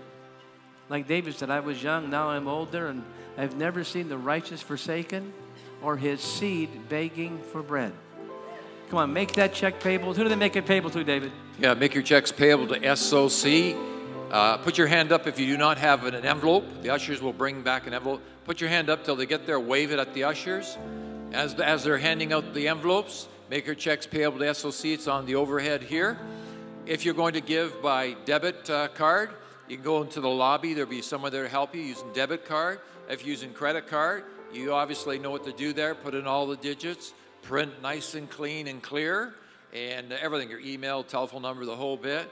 And uh, if you do that, you'll get a tax receipt at the end of the year. So make sure you fill in all your information clearly and correctly. Again, make checks payable to SLC for Selwyn Outreach Center. All right, anyone else need an envelope back there? Put your hand, just wave your hand if you need an envelope. Last call. I see back, yeah, go back there, Tony. Anyone else? Okay, keep your hand up till the ushers come. Last call. Anyone needs an envelope? Put your hand up high, just wave it. Last call. Okay, checks payable to SOC, debit machine out in the lobby, credit card, fill in all your information, print really clear, all the digits, expiry date for your credit card, and that way we'll be able to put it into our system. You get a tax receipt at the end of the year. So ushers, wait for my my uh, letting you guys know when you go to get that offering. Uh, so don't rush. So just wait for a minute. Please remain seated during the offering. And, uh, and ushers, I'll let you know when to go pick it up right in a moment. Go ahead, Duncan. I love you, Lord. Oh, your mercy never fails me. And all my days I've been held that I wake up until I lay my head, oh, I will sing of the goodness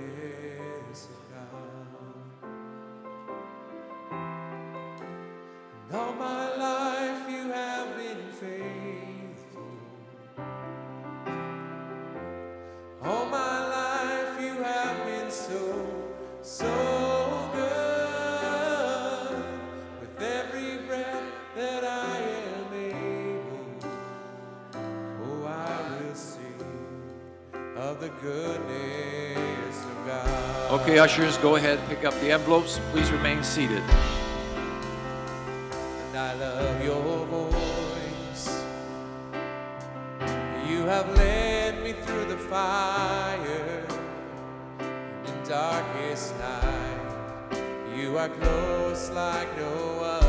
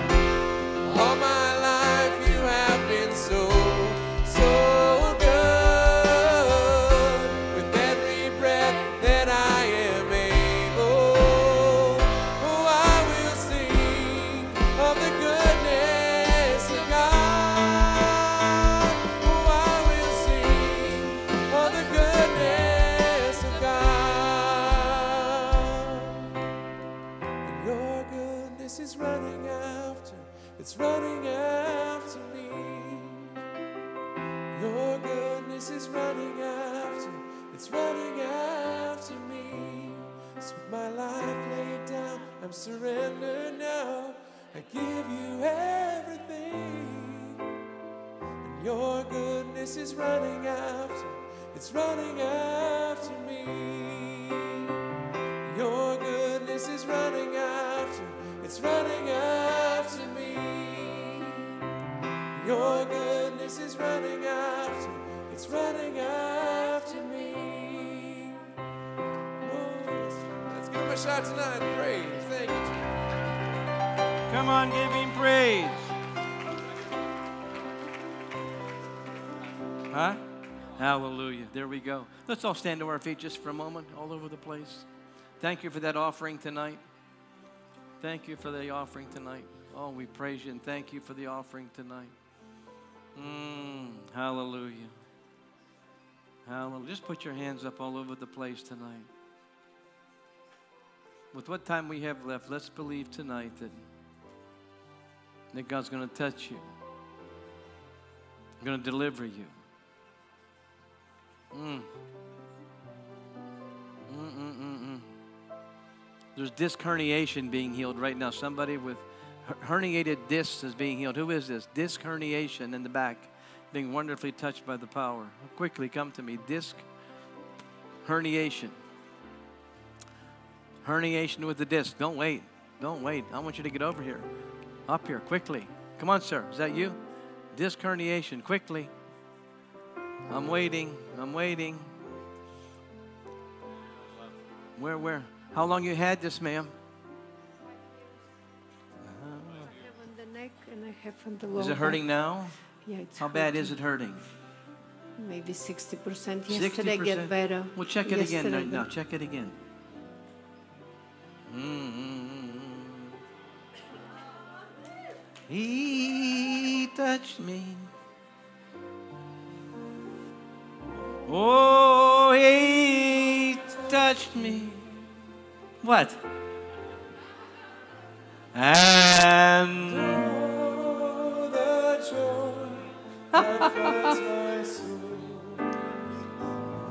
She's touching the floor, by the way.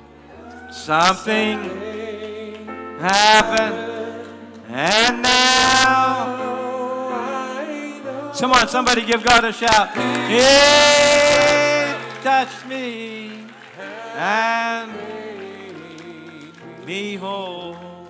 Herniated disc? And since I met my blessed Savior, it's my grandmother's favorite verse. Since He cleansed and made me whole, I will never cease to praise Him. I will never cease to praise Him. Come on, I'll shout it. I'll shout it while eternity rolls. Come on, every single voice. He touched me. He touched me. And that mighty part, oh, the whole that mighty part. Something happened. Something happened. Be thou loose. And now I know. Hey.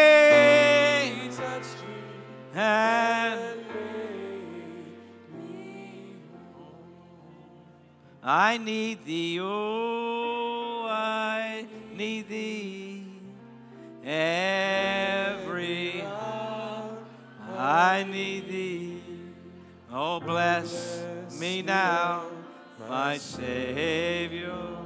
I to Let's sing it again. I need everybody. Come on. I need thee oh, every hour. Every hour I need.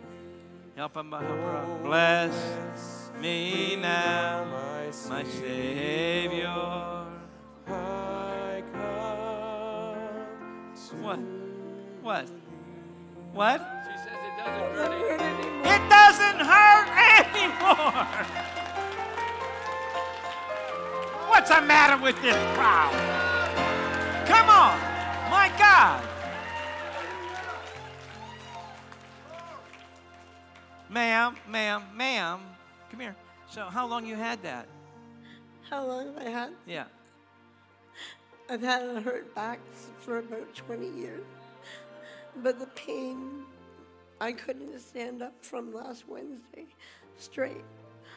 Well, you're straight now. Yeah. And I had to walk in with a walker. You had to what? Walker. You walked in with a walker. Now you don't need it. Yeah. Thank you so much. Hey, oh, hey, touch me. Where are you from? I'm from Oshawa. Oshawa. You have a church there you go to? Yes. What's the name of that? Embassy. Who? Embassy Church. Embassy. Who Yeah. told you to come here? My friend Agnes. Where's Agnes at? Where's Agnes? Come on, Agnes. Come here, Agnes. Where's Agnes at? Hey, Agnes, look what you did. Look what you made happen.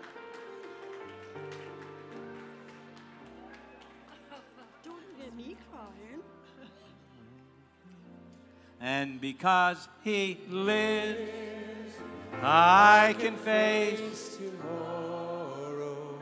Come on, because he lives, all fear, all fear is gone. Because I know, because I know, he holds the future, and life is worth, life is worth the living just because he lives. And because he lives, come on. Because he lives, I can face face tomorrow.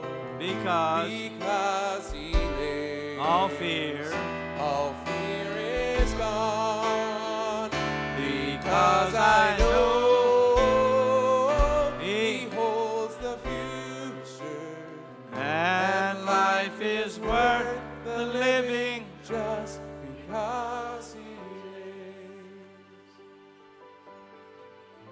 Amazing. It's fun to absorb it. You know, when you see this, absorb it. See, if you gave an offering tonight, if you did, this reward's coming to you. You sowed into this. A piece of that miracle is yours. That's the power of giving in a meeting like this. I tell people where I go, you go. What I do, you do. The reward I get, you get. That's the way this works. Catch on to this. Hallelujah. My God, this is amazing. Give me that girl in the blue dress right there. You, ma'am, the blonde in the blue dress. Yeah, hurry up. It's her birthday. Birthday girl. Hi. Well, I guess we picked the right girl here tonight.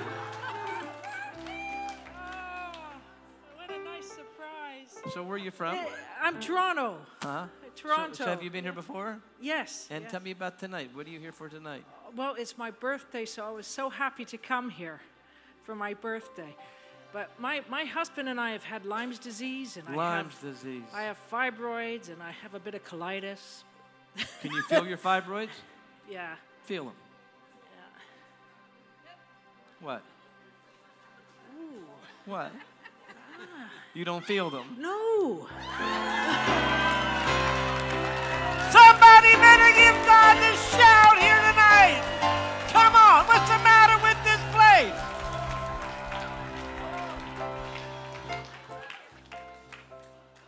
It's worth the look on her face. Oh, thank you, Jesus. Everybody ought to know. Everybody ought to know who Jesus is. Everybody ought to know. Everybody ought to know. Everybody ought to know who Jesus. Who Jesus is. He's the lily of the valley. Sing it. He's He's the lily of the valley. He's the bright. Bright and morning star. He's the. Fairest of ten thousand. Everybody. Everybody ought to know. Everybody ought to know. Come on, let's do it. Everybody ought to know. Everybody ought to know. Come on, he's the healer of my body. He's the healer of my body. Savior of my soul. He's the Savior of my soul. He's the Holy Ghost baptizer. He's the Holy Ghost baptizer. Everybody. Everybody ought to know. Here we go. Everybody ought to know. Everybody ought to know. Everybody ought to know who Jesus is. Everybody ought to Look at that for happy birthday to you. God, you can't feel Jesus. the fibroids. No. Thank you, God. Thank you. Who are you here with? Actually, my pastor and my prayer your- group that your we have in? Toronto. You're We're the all- pastor? Come to me, yes. pastor. Yeah, and he's just had some strokes and and and he doesn't give up. He's had a big miracle. 90 of us You prayed for here him. at the last night. church. I didn't know you were her yes, pastor. Yes. I, I lead the home church group. Okay. So we have a home church group every okay. Friday nights. We get together. That's wonderful. Is your wife here? No, I'm not married. You're not married. You're a single pastor? I'm a All the sheep are going to want I you. don't refer to myself as pastor, but I'm a home church. I'm a church leader. I'm telling you, ladies, listen to me. You leave this guy alone. He's the pastor. You can't steal the pastor out of the group. Unless it's Holy Ghost, right? We thank you, dear Jesus. We thank you. Oh, the power. Oh, wow. Yes, Lord. Well, we thank you. Pastor, put your hands up. Oh, Pastor, he's going to bless you and, and increase this Bible study. He's sending people with money. He's sending people that want to help work. You're in the very infant stages. A humble beginning it is. But don't despise it, Pastor. He loves your heart. You care for the people you have. Make sure they have food. Make sure that they're being taken care of. Nurture the people. Don't love them and leave them. Just love the people. Feed my sheep. Feed my lambs. And I'll take care of you in more ways than you can ever imagine by the Holy Ghost. Come on, somebody give God a shout. Come on. Come on, give him a mighty praise.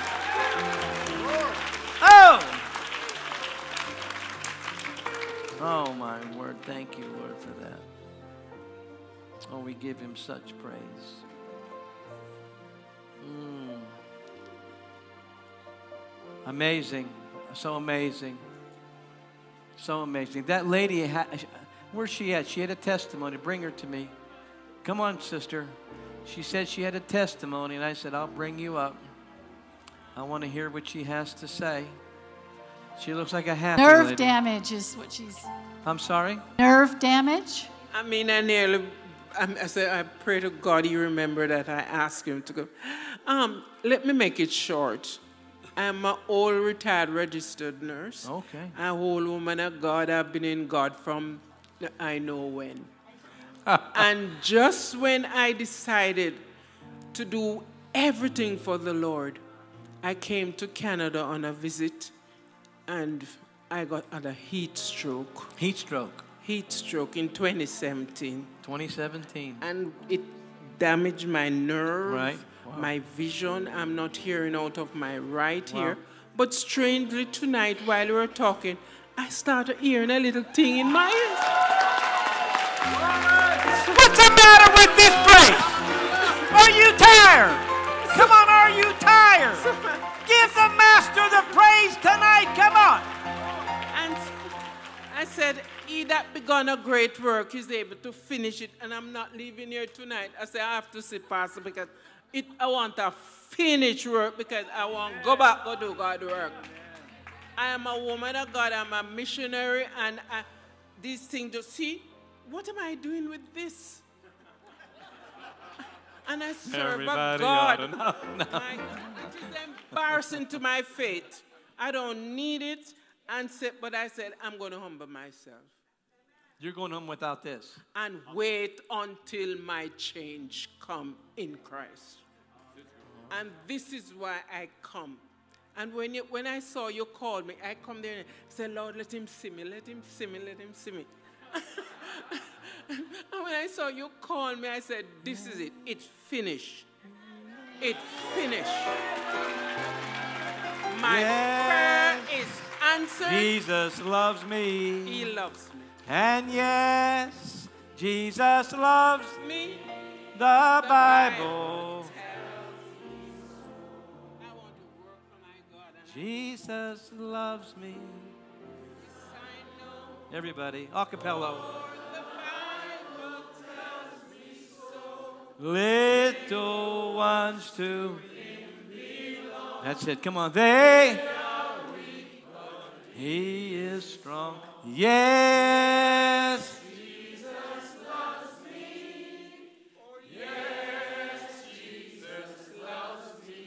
And yes. Yes, Jesus loves me. The.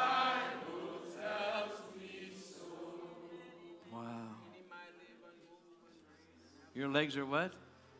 Would you just say? In him I live Oh, you're getting preaching on me now. and move and reign and have my being. And I want to finish. I mean, I'm so embarrassed what is happening to me. This Power's is not. coming on you. Get ready. This is not good. I said the power's getting ready to hit you, lady. Ah. By that power, the Holy Ghost. By the Holy Ghost. That mighty power. That mighty power, of the Holy Ghost. Leave go with this lady. Leave go with that chair. Walk, just walk. Just walk. Just walk. Somebody better praise him. Somebody better give God a shout.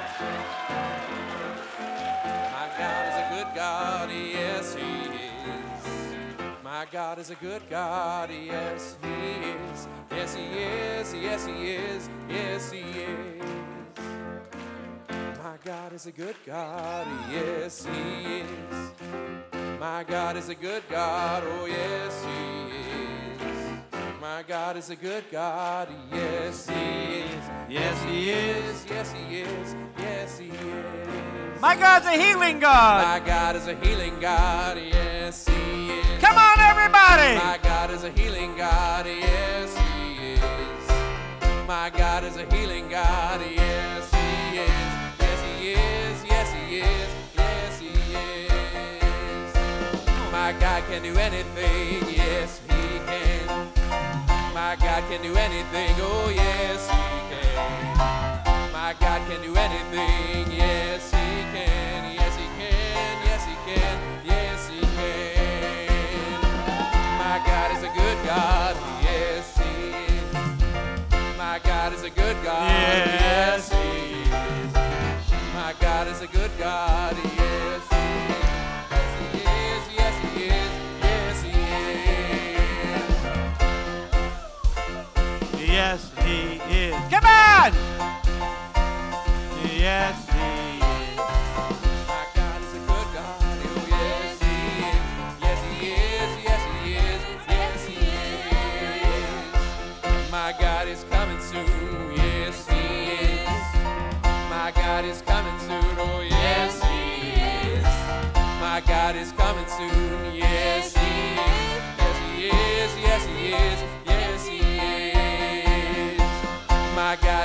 God, yes Rich God, is. yeah.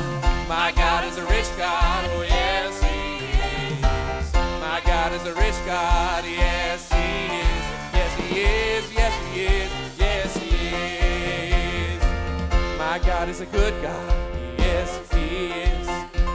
My God is a good God, oh yes He is. My God is a good God, yes He is. Yes He is, yes He is, a good God. Yes, Come on, let's do it. Come on. My God is a good God. Oh, yes, He is. My God is a good God. Oh, yes, He is. Yes, He is. Yes, He is. Yes, He is. Oh, yes, He is. Yes, He is. Yes, He is. And My yes, He can. Yes, He can.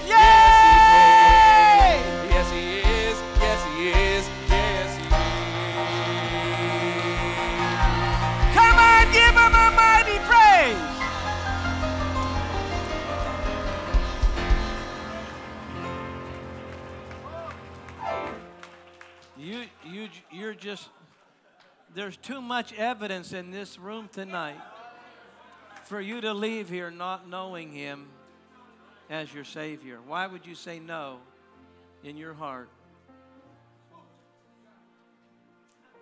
But I'm a Baptist. Be a saved Baptist. But I'm a Catholic. Be a saved Catholic. Religion don't save you. Religion is outside in. Christianity is inside out.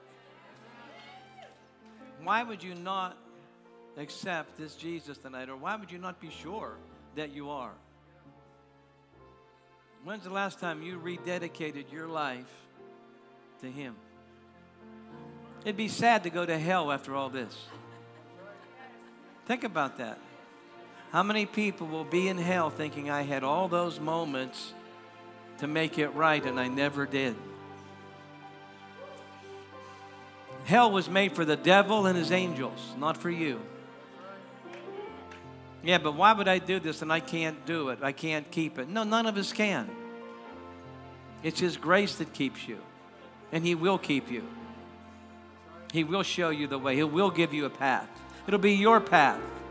It won't be the same path as everybody's here, it'll be your path.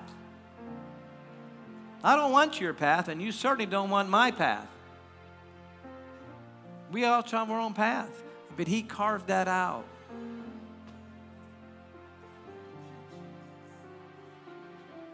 Who said that? Thank you, Jesus. Is that you back there thanking Him? You what? You're bubbling.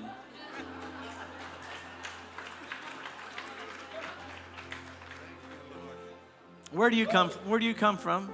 I'm a Jamaican. Oh. IRA every time. What part of Jamaica? I am from St. Ann, that is in Otrus area. Okay. I live there.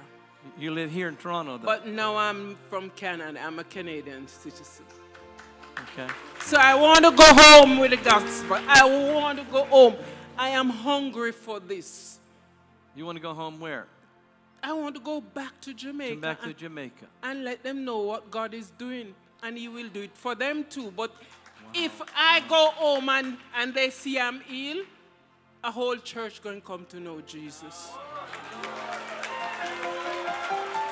That's why I must go mm-hmm. home. There's a song that goes, Hey, hey, man, do you know my Lord? Hey, hey, man, do you know my, My Lord? Lord. Hey, hey, man, do you know my, My Lord? Do you, Do you know, know? do you know, do you know my Lord? That's a Jamaican song. Chum it, chum on, chum on.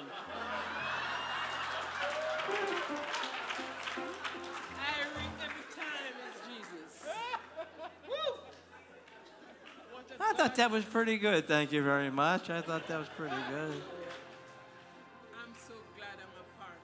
She's so glad she's a part of the family. Hands up all over the place. And I'm going to have you come up. I'm going to do an impartation tonight up here at the altar. I want everyone, I don't want no one slipping out the side door. I want you all up here at this altar. I'm going to stand on the stage. I'm going to impart to you. I believe it works. I believe it worked from Moses to Joshua, Joshua to his generation. It worked from Jesus to his disciples. Just join me right up here if you would, please. If you would. Oh, Lord. Oh, Lord. Oh. Look at this crowd. Look at this. Look at this.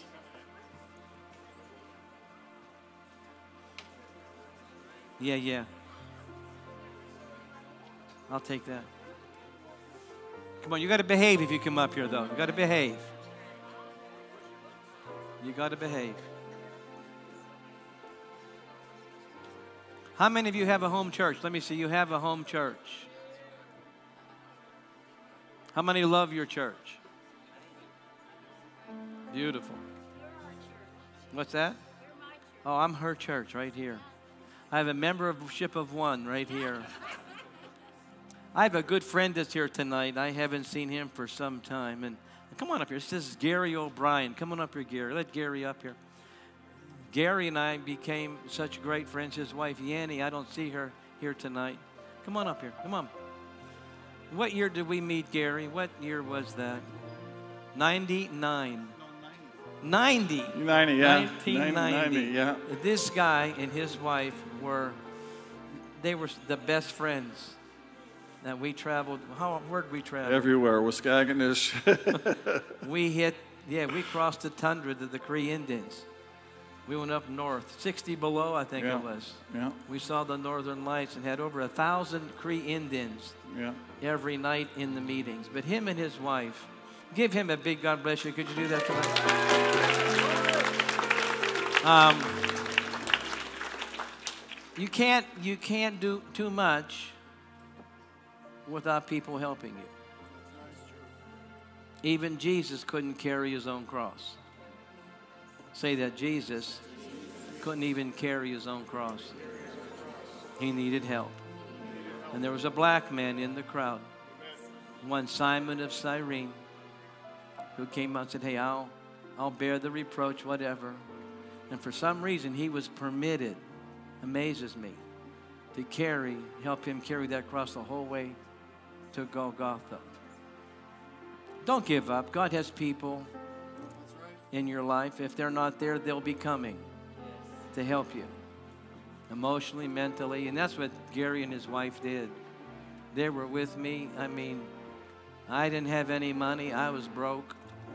I didn't have much. He owned a couple restaurants up in Unionville. A very prosperous man, him and his wife. And they came in and laid money on the table, and you did so much.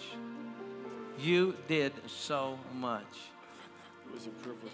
And I loved you, and I still love you. I love you, brother. I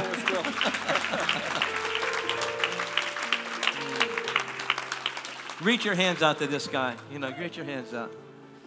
What he's been through is a whole nother story. None of us leave here without getting marked up a little bit. Quit feeling sorry for yourself. Stop it. You're not the only one. There's a room full of people here that have been beaten up pretty bad. If we went around this room, some of the stories here tonight are horrific, shameful, embarrassing. And that's why we all need a Savior and a healer. And don't let think don't think life will heal you or the next marriage will heal you. You're living a lie. There's one healer that we all know. His name is Jesus.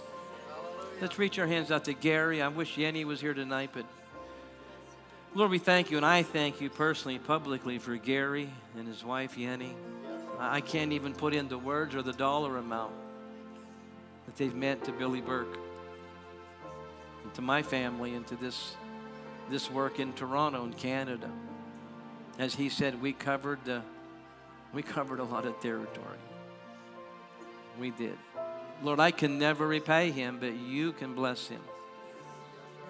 He's lost so much in this life serving you. Bless him tonight. Send a wave of your restoration to their home, to their business. I pray, God, that he has enough money in the very near future to retire, to do everything he ever wanted to do, beyond his wildest imaginations. Bless him. You said you would give us the hidden treasures. Somebody say hidden treasures. That you would give the O'Briens the hidden treasures. Keep them strong, keep them healthy, keep them here serving you. And may we do a labor together again in this great harvest. In Jesus' name. Everybody said, Come on, give me a hug, guys. Love you. Love you, sir. Love you, love you. Come on, give God a big, big shout. Come on. Come on. Come on, said a big one. Does anybody, does anybody feel different? You got a healing. Stand, um, who, there's other people that have been healed. Yes, sir. Somebody else been healed, he, healed. In this crowd, sitting out here tonight, your back, your legs, your eyesight's better. Where? What's going on? Where? Your elbow. Your elbow got healed. Who else? Somebody else. Quickly. Your spirit's healed. We did a lot of that tonight. Yeah. Who else? Way in the back. Your eyesight. She can read that. She couldn't read that before. Anybody over in this section? Yes, what happened, ma'am? Your eyesight. Your hearing. Four spinal surgeries and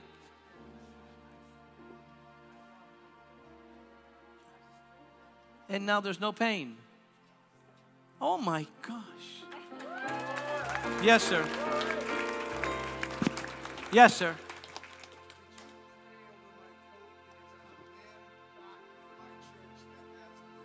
Oh my, bring the coat. Let him through the crowd. Let him through the crowd. Okay, just we believe in all this. My grandmother believed in this. Well, your grandmother was right. Hallelujah. Hallelujah. I'm just going to hold it for a minute, okay? Let me just hold it. Who else got touched? Who else? I'm waiting to hear for some more. Yes, sir. You're what? What happened to your knee? Just a minute, Shh, sir. Your knee, I'm sorry, sir? You tore your meniscus. And now? A lot better than when you came in. Awesome. Just raise your hand. Raise your hand. Yes, ma'am. Your what? Your elbow. What's that on your neck? That's just a dress, right? I thought it was a I thought it was a cast. okay. Who else back here? Yes, ma'am. Your what? Your eyesight is much better. Wonderful. Yes, ma'am, way in the back. Yes. 34 years of misery.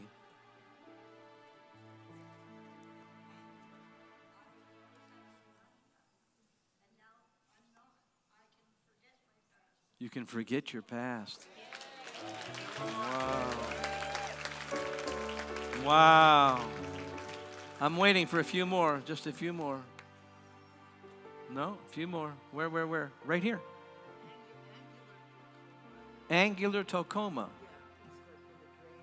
Oh my. That's uh, like drainage out of your eyes and out of your nasal. Wow. Wow. Jesus. Keep that. Small middle. Yeah. He got healed tonight. You got healed tonight. Beautiful. Over here. Yes, sir. You got healed of memory problems? Wow. Wow. Is your wife with you? Is your wife with you? Did you hear what he said? What's that mean to you? What's that mean to you?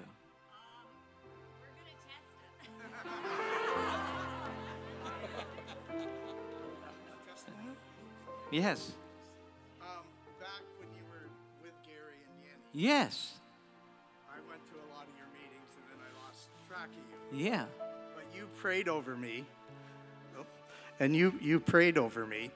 And you said that I will have the life of Stephen and that I had the heart of David. Wow. Now, one of the miracles that Jesus worked through me was in Fort Myers, it, near where your home uh, church is.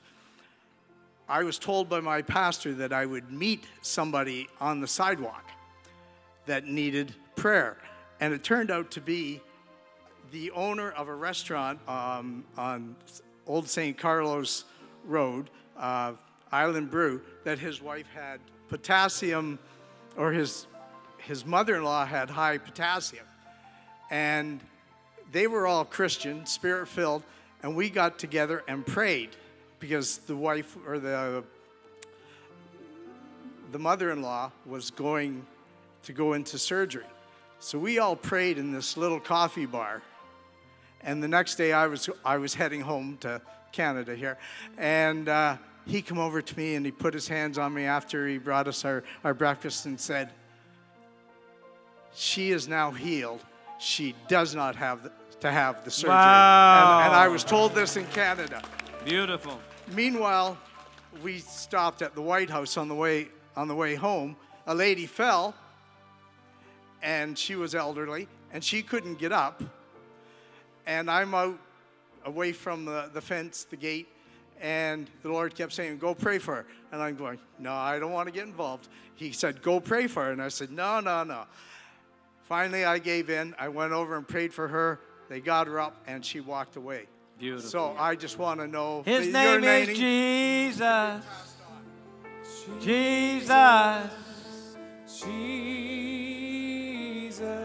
There's just something about that name. Good job. He's my master. Come on. He's my master, Savior. Jesus,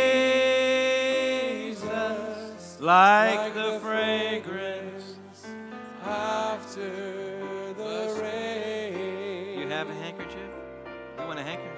Jesus, Jesus, Jesus. Let all heaven, Let all heaven and earth and earth proclaim.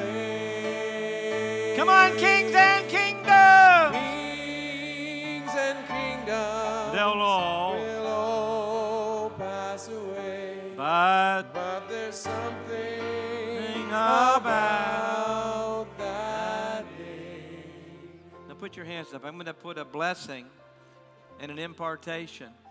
I'm going to give you back this jacket. Who has that? I've been holding that. There's virtue in that jacket. Virtue.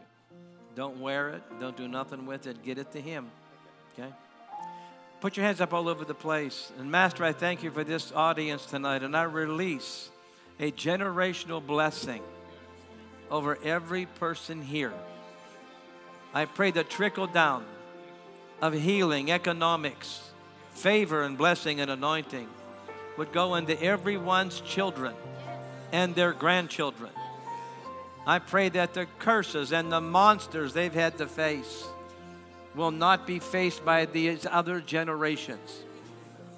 I pray for a blessing that moved into this audience, a burning, yearning, and churning desire. Everybody say burning, yearning, and churning desire to reach out and help people, to say a prayer, to give a hand, to cut a check, to give food, to give a ride, to cast a shadow that this generation of people will be able, empowered, and willing to release the Holy Ghost. Such as they have, they will give it. And the more they give it, the more you'll give it back. I pray that no weapon formed against this crowd will prosper. And I pray for an abundance of rain, the latter rain, the former rain, together would fall on this crowd.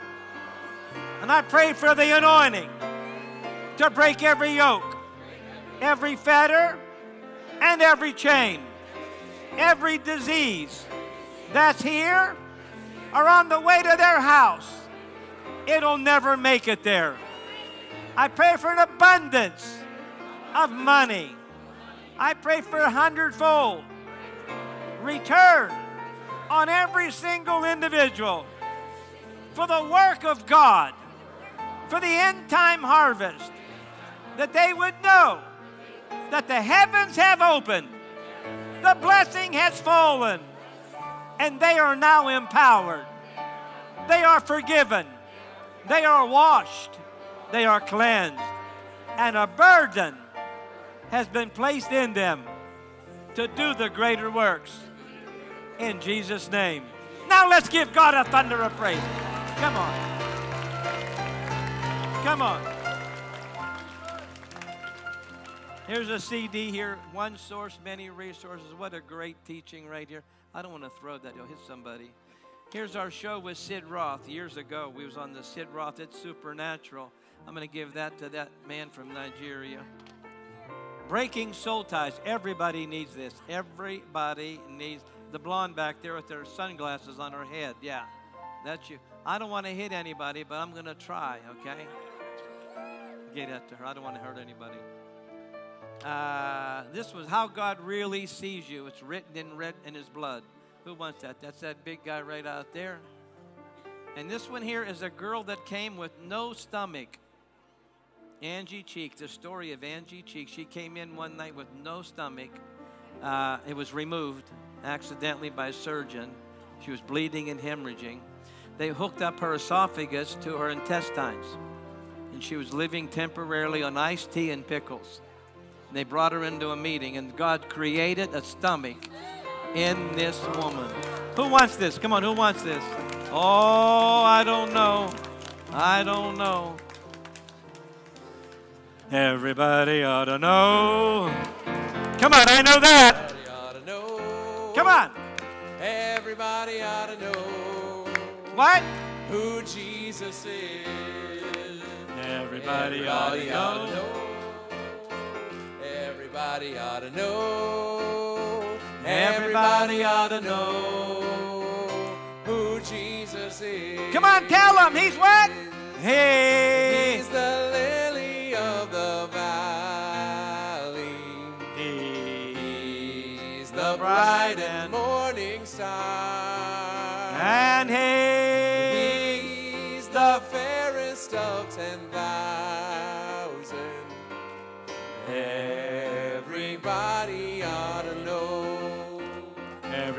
Everybody ought to know. Come on. Everybody ought to know. Everybody ought to know who Jesus is. Come on, he's the healer. Hey. He's the healer of my body. He's Savior. He's the Savior of my soul. Holy Ghost. Ghost baptizer. Everybody. Everybody ought to know. Everybody ought to know. Everybody ought to know. Everybody ought to know who Jesus is. Everybody ought to know. Everybody ought to know. Everybody ought to know. Come on, give him a big shout tonight.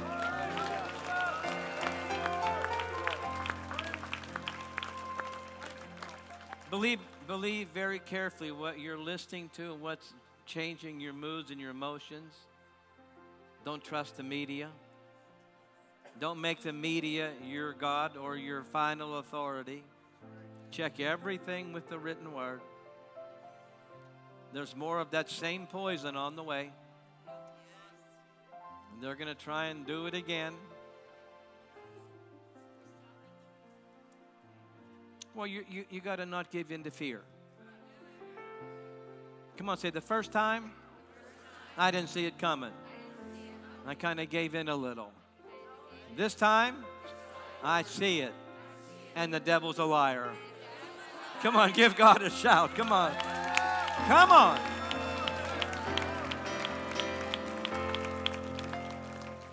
What a powerful night this is. What a you doing okay, ma'am? You all right?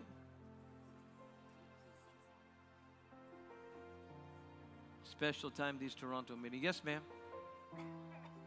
What's that?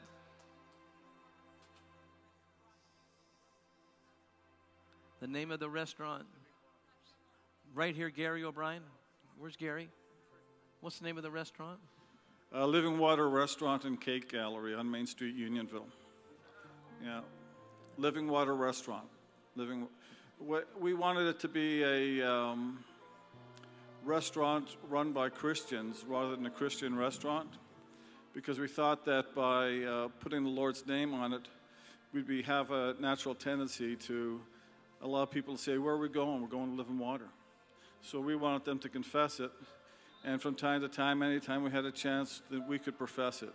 So uh, it was just a blessing of the Lord all those years, and uh, I bumped into Billy by accident. Here it is, 33 years later, and I'm never sorry for any of it. Thank you, Lord. Wow. Thank wow. you, Lord. Wow. Put your hand on somebody's shoulder. We're going to close tonight a little differently. Just a little differently tonight. Come on, say these words. I don't know what this person's going through, but I love them. And I release my faith tonight that you would visit them and heal them of all their hurt, all their pain, any bondages, that you would send other people their way to be a resource to them, whatever that may be. But I release the love of God and the blessing of Abraham. I release that anointing, that unlimited portion of the anointing. And I ask you to let favor fall in a way that it never has before. Nothing missing and nothing broken. That God is with them and His mighty presence will go before them. Help them change this city and wherever else they may live or wherever they may travel. Let revival follow them in Jesus' mighty name. Come on, give him a mighty shout. Come on. Good night. God bless you. And he walks with me. And he walks with me and he talks with me and he tells me I am his own, and the joy we share as we tarry there, none other has ever known. Ushers, ushers, catchers.